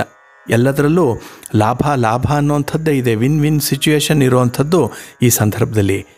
ಅದರಲ್ಲೂ ವರಮಹಾಲಕ್ಷ್ಮಿ ಹಬ್ಬ ಇರೋದರಿಂದ ಲಕ್ಷ್ಮಿಯ ಒಂದು ಕೃಪಾ ಕಟಾಕ್ಷ ಅನುಗ್ರಹ ಬಹಳ ವಿಶೇಷವಾಗಿ ನಿಮ್ಮ ಮೇಲಿದೆ. ಏಕೆಂದರೆ ಅಷ್ಟೇ ಒಂದು ನಿಷ್ಠೆ ಭಕ್ತಿಯಿಂದ ಆರಾಧನೆ ಮಾಡುವಂಥದ್ದಾಗಲಿ, ಇಲ್ಲಿ ಆರಾಧನೆಗಿಂತ ನಿಮ್ಮ ಕೆಲಸ ಕಾರ್ಯಗಳನ್ನು ಇಷ್ಟಪಟ್ಟು ಮಾಡೋದರಿಂದ ಬರುವಂತಹ ಒಂದು ಫಲ ಅದು ಲಕ್ಷ್ಮೀ ಕಟಾಕ್ಷವೇ. ಹಾಗೆ ಈ ದಿನ ನೆಮ್ಮದಿ ಅನ್ನುವಂಥದ್ದು ಕೂಡ ಬಹಳ ವಿಶೇಷವಾಗಿ ನಿಮಗೆ ಇರುವಂಥದ್ದು. ಜೊತೆಯಲ್ಲಿ ಮೂರನೇ ಸ್ಥಾನದಲ್ಲಿ ಚಂದ್ರ ಇದ್ದಾಗ, ನಿಮಗೆ ತೃತೀಯದಲ್ಲಿ, ಅದು ತೃತೀಯ ಕೀರ್ತಿ ಸ್ಥಾನದಲ್ಲಿ ಚಂದ್ರ. ನಿಮ್ಮ ಕೆಲಸ ಕಾರ್ಯಗಳಲ್ಲಿ ಒಂದು ಒಳ್ಳೆಯ ಕೀರ್ತಿಯನ್ನು ಸಂಪಾದನೆ ಮಾಡ್ತೀರಿ. ಒಂದು ಗೌರವ ಸ್ಥಾನಮಾನ ಅನ್ನುವಂಥದ್ದು ನಿಮಗೆ ಈ ದಿನ ಪ್ರಾಪ್ತಿಯಾಗುವಂಥದ್ದು. ಹಾಗೆ ಈ ದಿನ ವ್ಯಾಪಾರ ವ್ಯವಹಾರಗಳಿಂದ ಒಂದು ಒಳ್ಳೆಯ ಆದಾಯ ಅನ್ನುವಂಥದ್ದು ಇದೆ. ಈ ಆದಾಯದಿಂದ ಸ್ವಲ್ಪ ಉಳಿತಾಯ ಮಾಡುವಂಥ ಪ್ರವೃತ್ತಿ ಕೂಡ ಬರಬಹುದು. ಹಾಗೆ ಆರ್ಥಿಕ ಸ್ಥಿತಿಯಲ್ಲಿ ತುಂಬ ಸುಧಾರಣೆ ಇರುವಂತಹ ದಿನ. ಏಕೆಂತಂದರೆ ನಿಮ್ಮ ಒಂದು ವ್ಯಾಪಾರಕ್ಕೋ, ವ್ಯವಹಾರಗಳಿಗೋ, ಉದ್ಯೋಗಕ್ಕೋ, ಉದ್ದಿಮೆಗೋ ಪಡೆದುಕೊಂಡಿರುವಂತಹ ಒಂದು ಸಾಲ, ಆ ಸಾಲದ ಮರುಪಾವತಿಗೆ ಬೇಕಾದಂಥ ಒಂದು ಮಾರ್ಗಸೂಚಿ ಈ ದಿನ ನಿಮಗೆ ಸಿಕ್ಕುವಂಥದ್ದು. ಇನ್ನು ಸಂಪ್ರದಾಯಕ್ಕೆ ಬೆಲೆ ಕೊಡುವಂತಹ ಒಂದು ಪರಿಸ್ಥಿತಿ ಈ ದಿನ ಬರಬಹುದು. ಹಾಗಾಗಿ ನಿಮ್ಮಲ್ಲಿ ಯಾವುದಾದ್ರೂ ಹಬ್ಬ ಹರಿದಿನಗಳ ಬಗ್ಗೆ ಆಗಲಿ, ಅಥವಾ ಯಾವುದೇ ಒಂದು ಕೌಟುಂಬಿಕವಾಗಿ ಆಚರಣೆ ಮಾಡುವಂತಹ ಒಂದು ಧಾರ್ಮಿಕ ಪದ್ಧತಿಗಳು ಈ ಸಂದರ್ಭದಲ್ಲಿ ನಿಮಗೆ ತಲೆದೋರುವಂಥದ್ದು. ಅದಕ್ಕಾಗಿ ಸ್ವಲ್ಪ ಸಿದ್ಧತೆಗಳನ್ನು ಮಾಡ್ಕೊಳ್ತೀರಿ. ಖರ್ಚು ವೆಚ್ಚಗಳು ಈ ಸಂದರ್ಭ ಆಗ್ಬೋದು. ಆದರೂ ಕೂಡ ಅದನ್ನು ನಿಭಾಯಿಸುವಷ್ಟು ಸಾಮರ್ಥ್ಯ ನಿಮ್ಮ ಒಂದು ಹಣಕಾಸಿನ ಸ್ಥಿತಿಯಿಂದ ಒದಗಿ ಬರುವಂಥದ್ದಾಗತ್ತೆ. ಇನ್ನು ನೀವು ಅಂದುಕೊಂಡದ್ದಕ್ಕಿಂತ ಹೆಚ್ಚಿನ ಒಂದು ಲಾಭವನ್ನು ಪಡೆಯುವಂಥದ್ದು. ಅದು ಯಾವುದರಲ್ಲೇ ಇರಲಿ, ಸಂಬಂಧಗಳಲ್ಲೇ ಇರಲಿ, ಪ್ರೀತಿ ವಿಶ್ವಾಸದಲ್ಲೇ ಇರಲಿ, ಅಥವಾ ಒಂದು ಗೆಳೆತನದಲ್ಲಿರಲಿ ನಿಮ್ಮ ನಿರೀಕ್ಷೆಗಿಂತ ಹೆಚ್ಚಿನ ಒಂದು ಲಾಭಾಂಶ ನಿಮಗೆ ಸಿಕ್ಕುವಂಥದ್ದಾಗತ್ತೆ. ಹಾಗೆ ಈ ದಿನ ಸಹೋದರರಿಂದ ನೋಡಿ, ಉತ್ತಮವಾದಂಥ ಒಂದು ಸಹಾಯ ನಿಮಗೆ ಈ ದಿನ ಸಿಕ್ಕುವಂಥದ್ದು. ಹಾಗೆ ನಿಮ್ಮ ಕೆಲಸ ಕಾರ್ಯಗಳು ಅದರಲ್ಲೂ ಕೌಟುಂಬಿಕವಾಗಿ ನೆನೆಗುದಿಗೆ ಬಿದ್ದಿರುವಂಥದ್ದು ಏನೋ ಒಂದು ಪಿತ್ರಾರ್ಜಿತ ಆಸ್ತಿ ಬಗ್ಗೆ ಅಥವಾ ಆಸ್ತಿಯ ವಿವಾದ ಅನ್ನುವಂಥದ್ದು ಇರ್ಬೋದು ಅಥವಾ ಇನ್ನೇನೋ ಒಂದು ಸಂಬಂಧಗಳ ನಿಷ್ಕರ್ಷೆ ಆಗಬೇಕು, ಕುಟುಂಬಕ್ಕೆ ಒಟ್ಟಾರೆ ಆಗಬೇಕಾಗಿರುವಂಥದ್ದು. ಅದರಲ್ಲಿ ನಿಮ್ಮ ಪಾತ್ರ ಈ ದಿನ ಬಹಳ ವಿಶೇಷವಾಗಿ ಕಾಣಿಸ್ಕೊಳ್ಳುತ್ತೆ. ನಿಮ್ಮ ತೀರ್ಮಾನವೇ ಅಂತಿಮ ಅನ್ನುವಂಥ ರೀತಿಯಲ್ಲಿ ಇರುವಂಥದ್ದು ಈ ದಿನ. ಹಾಗೆ ಕುಟುಂಬದ ಪ್ರೀತಿ, ವಿಶ್ವಾಸವನ್ನು ಗಳಿಸ್ಕೊಳ್ತೀರಿ. ಕುಟುಂಬಕ್ಕಾಗಿ ಸ್ವಲ್ಪ ಖರ್ಚು ವೆಚ್ಚಗಳನ್ನು ಮಾಡುವಂಥದ್ದು. ಏಕೆಂದರೆ ಅವರ ಪ್ರೀತಿಯನ್ನು ಗಳಿಸ್ಕೊಳ್ಳಿಕ್ಕೆ ಏನಾದರೂ ಒಂದು ಸ್ವಲ್ಪ ವೆಚ್ಚವನ್ನು ಮಾಡಬೇಕಾಗತ್ತೆ. ಹಾಗೆ ಇಷ್ಟಾರ್ಥ ಸಿದ್ಧಿಯಾಗುವಂಥ ದಿನ ಇಂದು. ಮಾತಿನ ಚಕಮಕಿ ಇದ್ದರೂ ಒಂದು ಆರ್ಗ್ಯುಮೆಂಟ್ ಅನ್ನುವಂಥದ್ದು ಇದ್ದರೂ ಕೂಡ ಅದರಲ್ಲಿ ನಿಮ್ಮ ಗೆಲುವೇ ಗೆಲುವಾಗುವಂಥದ್ದು. ಆದರೆ ಹಿರಿಯರ ಒಂದು ಆರೋಗ್ಯದ ಬಗ್ಗೆ ಸ್ವಲ್ಪ ಗಮನ ಕೊಡಿ. ಹಾಗೆ ಅವರ ಒಂದು ಸಲಹೆ, ಒಂದು ಮಾರ್ಗದರ್ಶನ ಈ ದಿನ ಬಹಳ ವಿಶೇಷವಾಗಿರುವಂಥದ್ದು. ಹಾಗಾಗಿ ಅವರ ಅನುಭವದ ಸಾರ ಅದು. ಅದನ್ನು ಕೇಳಿಸ್ಕೊಂಡ್ರೆ ನಿಮ್ಮ ಭವಿಷ್ಯದಲ್ಲಿ ಸ್ವಲ್ಪ ಉತ್ತಮ ಫಲವನ್ನು ಪಡೀಲಿಕ್ಕೆ ಅದು ಅವಕಾಶವನ್ನು ಕಲ್ಪಿಸುತ್ತೆ.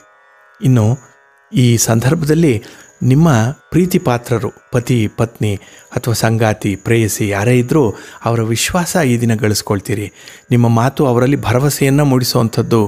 ಹಾಗೆ ಅವರ ಒಂದು ಮುಂದಿನ ಭವಿಷ್ಯಕ್ಕೆ ಬೇಕಾಗಿರುವಂಥ ಒಂದು ಸಂತೋಷಕರವಾದಂತಹ ಸುದ್ದಿ ನಿಮ್ಮ ಮಾತಿನಲ್ಲಿರುವಂಥದ್ದು.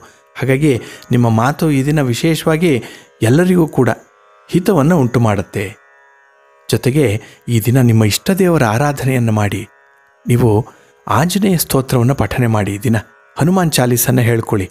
ಒಳ್ಳೆಯದಾಗತ್ತೆ. ನಿಮ್ಮ ಅದೃಷ್ಟದ ದಿಕ್ಕು ಪೂರ್ವ ದಿಕ್ಕು. ವೀಕ್ಷಕರೇ, ಕೊನೆಯದಾಗಿ ಡಿಸ್ಕ್ರಿಪ್ಷನ್ನಲ್ಲಿ ನೀಡಿರುವಂಥ ನಿಮ್ಮ ರಾಶಿಯ ಬೀಜ ಮಂತ್ರವನ್ನು ಪ್ರತಿದಿನ ತಪ್ಪದೆ ಕೇಳಿಸ್ಕೊಳ್ಳಿ. ನಿಮಗೆ ಒಳ್ಳೆಯದಾಗತ್ತೆ.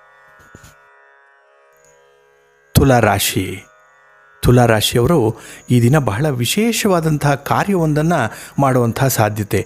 ಅಂದರೆ ಪ್ರಸಿದ್ಧಿಗೆ ಬರುವಂತಹ ಕಾರ್ಯವೊಂದನ್ನು ಮಾಡ್ತೀರಿ. ಆ ಕಾರ್ಯ ಜನಮನ್ನಣೆಯನ್ನು ಗಳಿಸುವಂಥದ್ದು. ನಾಲ್ಕು ಜನರಿಗೆ ಉಪಯೋಗ ಆಗುವಂತಹ ಕಾರ್ಯ. ಕಾರ್ಯದ ಮೂಲಕ ನಿಮ್ಮ ಹೆಸರು ಕೂಡ ಅಥವಾ ನೀವು ಕೂಡ ಪ್ರಸಿದ್ಧಿಗೆ ಬರುವಂಥದ್ದು. ಒಂದು ಒಳ್ಳೆಯ ಸ್ಥಾನಮಾನ ಸಿಕ್ಕುವಂತಹ ಸಾಧ್ಯತೆ ಈ ದಿನ ವಿಶೇಷವಾಗಿದೆ. ಏಕೆಂದರೆ ನೀವು ಮಾಡ್ತಾ ಇರುವಂಥ ಕೆಲಸ ನಾಲ್ಕು ಜನರಿಂದ ಮೆಚ್ಚುಗೆಯನ್ನು ಪಡ್ಕೊಂಡಾಗ ಕೆಲಸವನ್ನು ಮುಂದುವರಿಸಬೇಕು. ಅದು ಎಷ್ಟೇ ಒಂದು ಗುರುತರವಾದಂತಹ ಕೆಲಸ ಆಗಲಿ, ಕಷ್ಟತಮವಾದಂತಹ ಕೆಲಸ ಆದರೂ ಕೂಡ ಅದನ್ನು ಮಾಡಬೇಕು ಅನ್ನುವಂಥ ಉತ್ಸಾಹ, ಹುಮ್ಮಸ್ಸು ಈ ದಿನ ನಿಮ್ಮಲ್ಲಿ ಬರುವಂಥದ್ದು. ಏಕೆಂದರೆ ನಾಲ್ಕು ಜನರ ಒಂದು ಹೊಗಳಿಕೆ, ಒಂದು ಅಕ್ನಾಲೇಜ್ಮೆಂಟ್ ಆ ಕೆಲಸದಲ್ಲಿದೆ. ಹಾಗಾಗಿ ಮತ್ತೆ ಆ ಕೆಲಸವನ್ನು ಅಥವಾ ಅಂಥದ್ದೇ ಕೆಲಸವನ್ನು ಮುಂದುವರಿಸುವಂಥ ಒಂದು ಪ್ರಯತ್ನವನ್ನು ಈ ಸಂದರ್ಭದಲ್ಲಿ ಮಾಡ್ತೀರಿ. ಇದು ನಿಮ್ಮ ಯಶಸ್ಸಿನ ಗುಟ್ಟು ಈ ದಿನದ್ದು. ಆದರೆ ಕೆಲವೊಮ್ಮೆ ಕೆಲವು ಕೆಲಸಗಳಲ್ಲಿ ಮಿಶ್ರ ಫಲ ಇರುವಂಥದ್ದು. ಇದಕ್ಕೆ ಪ್ರಮುಖವಾಗಿ ಚಂದ್ರ ನಿಮಗೆ ದ್ವಿತೀಯದಲ್ಲಿ ಇರುವಂಥದ್ದು ದ್ವಿತೀಯದಲ್ಲಿದ್ದಾಗ ಕೆಲಸ ಕಾರ್ಯಗಳು ಅಷ್ಟೊಂದು ಸುಲಭವಾಗಿ ಆಗಲ್ಲ. ಸ್ವಲ್ಪ ಎಲ್ಲೋ ಅಡೆತಡೆಗಳು ಬರುವಂಥದ್ದು, ವಿಘ್ನಗಳು ಬರುವಂಥದ್ದು ಆಗುತ್ತೆ. ಆದರೆ ಅದನ್ನೆಲ್ಲ ಮೀರಿ ಮುಂದೆ ಹೋಗುವಂಥ ಒಂದು ಪ್ರಯತ್ನ ಇದೆಯಲ್ಲ? ಆ ಪ್ರಯತ್ನ ನಿಮಗೆ ಕಾರ್ಯದಲ್ಲಿ ಅನುಕೂಲವನ್ನು ಮಾಡಿಕೊಡುವಂಥದ್ದು. ಹಾಗೆ ಈ ಸಂದರ್ಭದಲ್ಲಿ ಕೆಲವು ಇಲ್ಲಸಲ್ಲದ ಕೆಲಸಗಳು ಕೆಲವು ಪಾಪದ ಕೆಲಸಗಳು, ಕೆಲವು ದುಷ್ಕೃತ್ಯಗಳು ಆಗುವಂತಹ ಸಾಧ್ಯತೆ ಇದೆ. ಇದಕ್ಕೆ ನಿಮ್ಮ ಸ್ನೇಹಿತರ ಒಂದು ಬೆಂಬಲ ಬೆಂಬಲ ಅನ್ನೋದಕ್ಕಿಂತ ಹೆಚ್ಚಾಗಿ ಅವರ ಒತ್ತಡ ಜಾಸ್ತಿ ಇರುವಂಥದ್ದು. ಹಾಗಾಗಿ ಅವರ ಇನ್ಫ್ಲೂಯೆನ್ಸ್ ಈ ದಿನ ಇರೋದರಿಂದ ಇಂತಹ ಕೆಲಸಗಳ ಬಗ್ಗೆ ಆಲೋಚನೆ ಮೂಡುವಂಥದ್ದು. ಕೆಲವು ವೀಕ್ ಮೈಂಡ್ ಇರುವಂಥವ್ರಿಗೆ ಕೆಲಸವನ್ನು ಮಾಡಿಯೇ ಬಿಡ್ತೀರಿ. ಹಾಗಾಗಿ ಅದರ ಮುಂದಿನ ಸಾಧಕ ಬಾಧಕಗಳ ಬಗ್ಗೆ ಯೋಚನೆ ಮಾಡಲ್ಲ. ಅದರಿಂದ ಈ ಸಂದರ್ಭದಲ್ಲಿ ಸ್ವಲ್ಪ ಅಂತಹ ಕೆಲಸ ಕಾರ್ಯಗಳು ಯಾವ ಸ್ನೇಹಿತರು ಹೇಳ್ತಾ ಇದ್ದಾರೆ ಅದು ಬೇಕಾ ಬೇಡವಾ ಕೂಲಂಕುಷವಾಗಿ ಸ್ವಲ್ಪ ಆಲೋಚನೆ ಮಾಡಬೇಕಾಗಿರುವಂಥ ವಿಚಾರಗಳಿದು. ಹಾಗೆ ಈ ಸಂದರ್ಭದಲ್ಲಿ ಸಾಧಾರಣವಾಗಿ ನಿಮ್ಮ ಕೆಲಸ ಕಾರ್ಯಗಳಲ್ಲಿ, ಉದ್ಯೋಗಗಳಲ್ಲಿ, ವ್ಯಾಪಾರಗಳಲ್ಲಿ ಪ್ರಗತಿ ಇರುವಂಥದ್ದು. ಎಷ್ಟೇ ಶ್ರಮವನ್ನು ಹಾಕಿದ್ರೂ ಕೂಡ ಎಲ್ಲೋ ಒಂದು ಕಡೆ ಈ ದಿನ ಅಷ್ಟೊಂದು ನಿರೀಕ್ಷಿತ ಮಟ್ಟದಲ್ಲಿ ಫಲಿತಾಂಶ ಅನ್ನುವಂಥದ್ದು ಸಿಕ್ಕಲ್ಲ ನಿಮಗೆ. ಸ್ವಲ್ಪ ನಿರಾಸೆ ನಿರಾಸೆಯ ಜೊತೆಗೆ ಸ್ವಲ್ಪ ಬೇಸರ ಕೂಡ ಆಗುವಂಥದ್ದು ಇದೆ. ಇನ್ನು ವಿಧೋ ವಿರೋಧಿಗಳಿದ್ದಾರಲ್ಲ ಅವರಿಂದ ಸ್ವಲ್ಪ ತೊಂದರೆಗಳಾಗುವಂಥದ್ದು. ಏನೋ ಒಂದು ರೀತಿಯಲ್ಲಿ ನಿಮ್ಮ ಒಂದು ಓಟಕ್ಕೆ ತಡೆಗಾಲು, ನಿಮ್ಮ ಪ್ರಗತಿಗೆ ಅಡ್ಡಿ. ಹಾಗೆ ಅವರು ನಿಮ್ಮನ್ನು ಸ್ವಲ್ಪ ಮೂದಲಿಸುವಂಥದ್ದು ಅಥವಾ ನಿಮ್ಮ ಕೆಲಸ ಕಾರ್ಯಗಳ ಬಗ್ಗೆ ಸ್ವಲ್ಪ ಅವಹೇಳನಕಾರಿಯಾದಂಥ ಮಾತುಗಳನ್ನು ಹೇಳುವಂಥದ್ದು ಆಗಬಹುದು. ಹಾಗಾಗಿ ಅಂಥ ಮಾತುಗಳನ್ನು ಒಂದು ಕಿವಿಯಿಂದ ಕೇಳಿಸ್ಕೊಂಡು ಮತ್ತೊಂದು ಕಿವಿಯಿಂದ ಬಿಡುವಂಥದ್ದು ಬುದ್ಧಿವಂತರ ಲಕ್ಷಣ. ಅದನ್ನು ಅಷ್ಟೊಂದು ಸೀರಿಯಸ್ ಆಗಿ ತೆಗೆದುಕೊಳ್ಬೇಡಿ. ಯಾಕೆಂದರೆ ನೀವು ಅಂದರೆ ಅವರಿಗೆ ಸ್ವಲ್ಪ ದ್ವೇಷ, ಅಸೂಯೆ.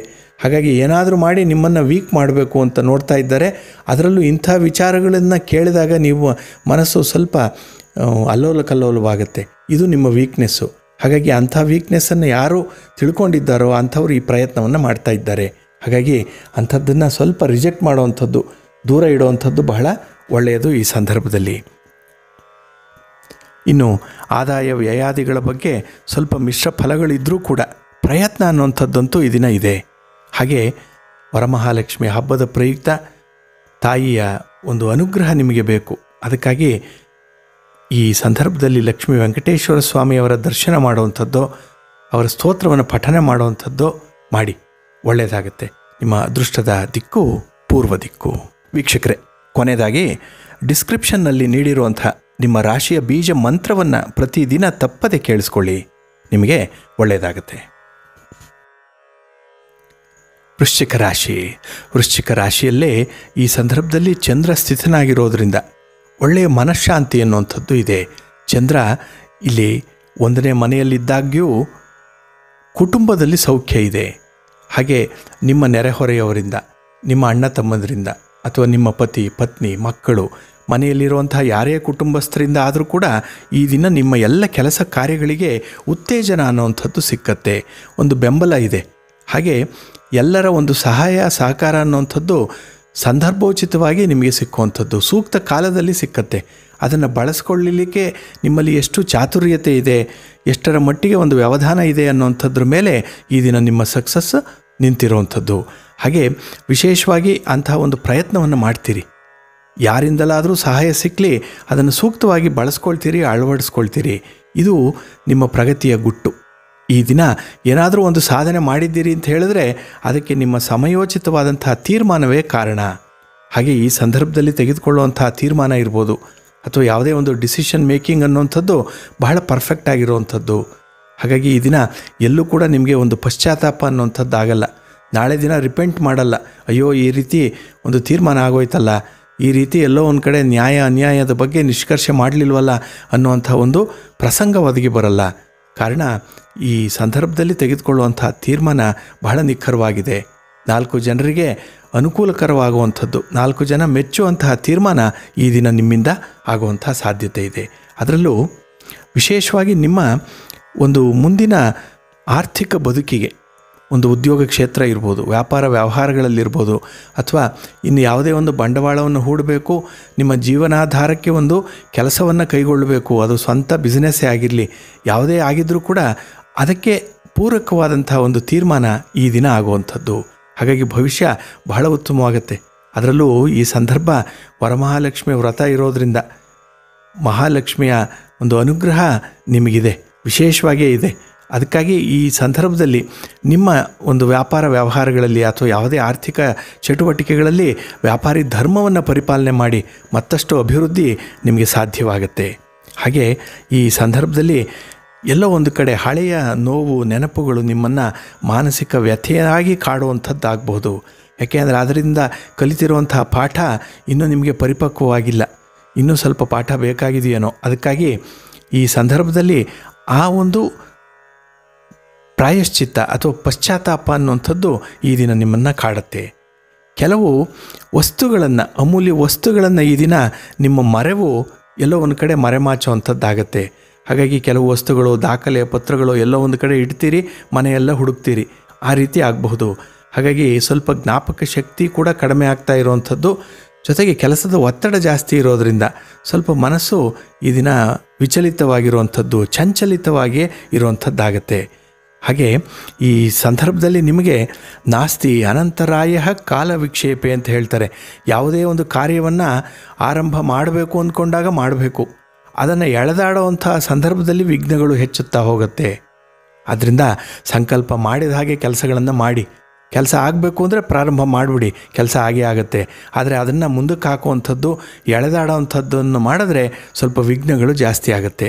ಈಗಾಗಲೇ ಅಡ್ಡಿ ಆತಂಕಗಳಿದೆ. ಅದನ್ನು ಮೀರಿ ಕೆಲಸದಲ್ಲಿ ಪ್ರಗತಿಯನ್ನು ಕಂಡಿದ್ದೀರಿ. ಒಂದು ನೆಮ್ಮದಿ ಇದೆ, ಒಂದು ಮನಃಶಾಂತಿ ಇದೆ, ಕೌಟುಂಬಿಕ ಸೌಖ್ಯ ಅನ್ನುವಂಥದ್ದಿದೆ ಪ್ರಯಾಣ ಸೌಖ್ಯ ಇದೆ, ಎಲ್ಲವೂ ವ್ಯವಸ್ಥಿತವಾಗಿದೆ. ಆದರೆ ಎಲ್ಲೋ ಒಂದು ಕಡೆ ಈ ರೀತಿ ಎಳೆದಾಡುವಂಥ ಒಂದು ಸ್ವಭಾವ ಇರೋದರಿಂದ ಸ್ವಲ್ಪ ಕೆಲಸ ಕಾರ್ಯಗಳಲ್ಲಿ ಇಲ್ಲಿ ವಿಘ್ನಗಳು ಜಾಸ್ತಿ ಆಗುತ್ತೆ. ಅದಕ್ಕಾಗಿ ವಿಘ್ನ ವಿನಾಶಕನಾದಂತಹ ಗಣಪತಿಯ ದರ್ಶನವನ್ನು ಮಾಡುವಂಥದ್ದು, ಗಣಪತಿಯ ಸ್ತೋತ್ರವನ್ನು ಪಠನೆ ಮಾಡುವಂಥದ್ದನ್ನು ಮಾಡಿ, ಈ ದಿನ ವಿಶೇಷವಾಗಿ ನೀವು ಲಕ್ಷ್ಮೀ ಸ್ತೋತ್ರವನ್ನು ಪಠಿಸಿ ಒಳ್ಳೆಯದಾಗತ್ತೆ. ನಿಮ್ಮ ಅದೃಷ್ಟದ ದಿಕ್ಕು ಉತ್ತರ ದಿಕ್ಕು. ವೀಕ್ಷಕರೇ, ಕೊನೆಯದಾಗಿ ಡಿಸ್ಕ್ರಿಪ್ಷನ್ನಲ್ಲಿ ನೀಡಿರುವಂಥ ನಿಮ್ಮ ರಾಶಿಯ ಬೀಜ ಮಂತ್ರವನ್ನು ಪ್ರತಿದಿನ ತಪ್ಪದೆ ಕೇಳಿಸ್ಕೊಳ್ಳಿ, ನಿಮಗೆ ಒಳ್ಳೆಯದಾಗತ್ತೆ. ಧನುರಾಶಿ ಧನುರಾಶಿಯವರಿಗೆ ಈ ದಿನ ನಿಮ್ಮ ಪ್ರಯತ್ನ ಫಲಿಸುವಂತಹ ದಿನ. ಹಾಗೆ ನೀವು ಯಾವುದೇ ಒಂದು ಕೆಲಸ ಕಾರ್ಯಗಳಲ್ಲಿ ನಿಮ್ಮನ್ನು ತೊಡಗಿಸಿಕೊಂಡಾಗ ಆ ಕೆಲಸದಿಂದ ಬರುವಂಥ ಒಂದು ಪ್ರತಿಫಲ ಬಹಳ ವಿಶೇಷವಾಗಿ ನಿಮಗೆ ಒಂದು ಸಂತೋಷವನ್ನು ತರುತ್ತೆ. ಜೊತೆಗೆ ಇಲ್ಲಿ ಸೋಮಾರಿ ಯಾವ ಪ್ರಯತ್ನವನ್ನು ಕೂಡ ಮಾಡದೆ ಸೋಲನ್ನು ಒಪ್ಪಿಕೊಳ್ಳುವಂಥದ್ದನ್ನು ನಾವು ನೋಡ್ತೀವಿ. ಏಕೆಂತ ಹೇಳಿದ್ರೆ ಯಾವ ಪ್ರಯತ್ನವೂ ಇಲ್ಲದೆ ಹೋದಾಗ ಆ ಕೆಲಸದಲ್ಲಿ ವಿಫಲತೆ ಅನ್ನುವಂಥದ್ದು ಕಾಣುತ್ತೆ. ಇನ್ನು ಧೈರ್ಯಶಾಲಿ ಪ್ರಯತ್ನ ಪಡ್ತಾನೆ. ಇಲ್ಲಿ ನೀವು ಕೂಡ ಧೈರ್ಯದಿಂದ ಕೆಲಸ ಕಾರ್ಯಗಳನ್ನು ಮಾಡುವಂಥವ್ರು, ಯಾವುದೇ ಹಿಂಜರಿಕೆ ಅನ್ನುವಂಥದ್ದು ಇಲ್ಲ. ಇಲ್ಲಿ ಮರಣ ಹೊಂದಿದಂತಹ ಸತ್ಯವಾನನನ್ನು ಸಾವಿತ್ರಿ ಬದುಕಿಸಿ ತಂದದ್ದು ಹೀಗೆ, ಏಕೆಂದರೆ ಧೈರ್ಯ ಅನ್ನುವಂಥದ್ದು ಇತ್ತು. ಅಲ್ಲೆಲ್ಲೋ ಒಂದು ಕಡೆ ಒಂದು ಆಶಾಭಾವನೆ ಇತ್ತು. ಇಲ್ಲ, ನನ್ನ ಪ್ರಯತ್ನದಲ್ಲಿ ನಾನು ಗೆದ್ದೇ ಗೆಲ್ತೀನಿ ಅನ್ನುವಂಥದ್ದು.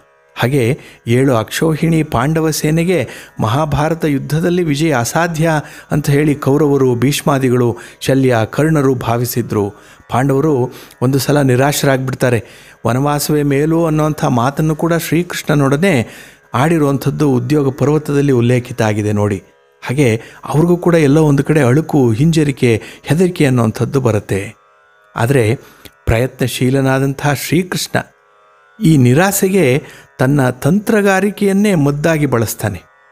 ಹಾಗಾಗಿ ಅಲ್ಲಿ ಅರ್ಜುನನಿಗೆ ಉಪದೇಶವನ್ನು ಮಾಡಿ ಜಯವನ್ನು ತಂದುಕೊಡುವಂಥ ಒಂದು ಪ್ರಯತ್ನವನ್ನು ಮಾಡ್ತಾನೆ.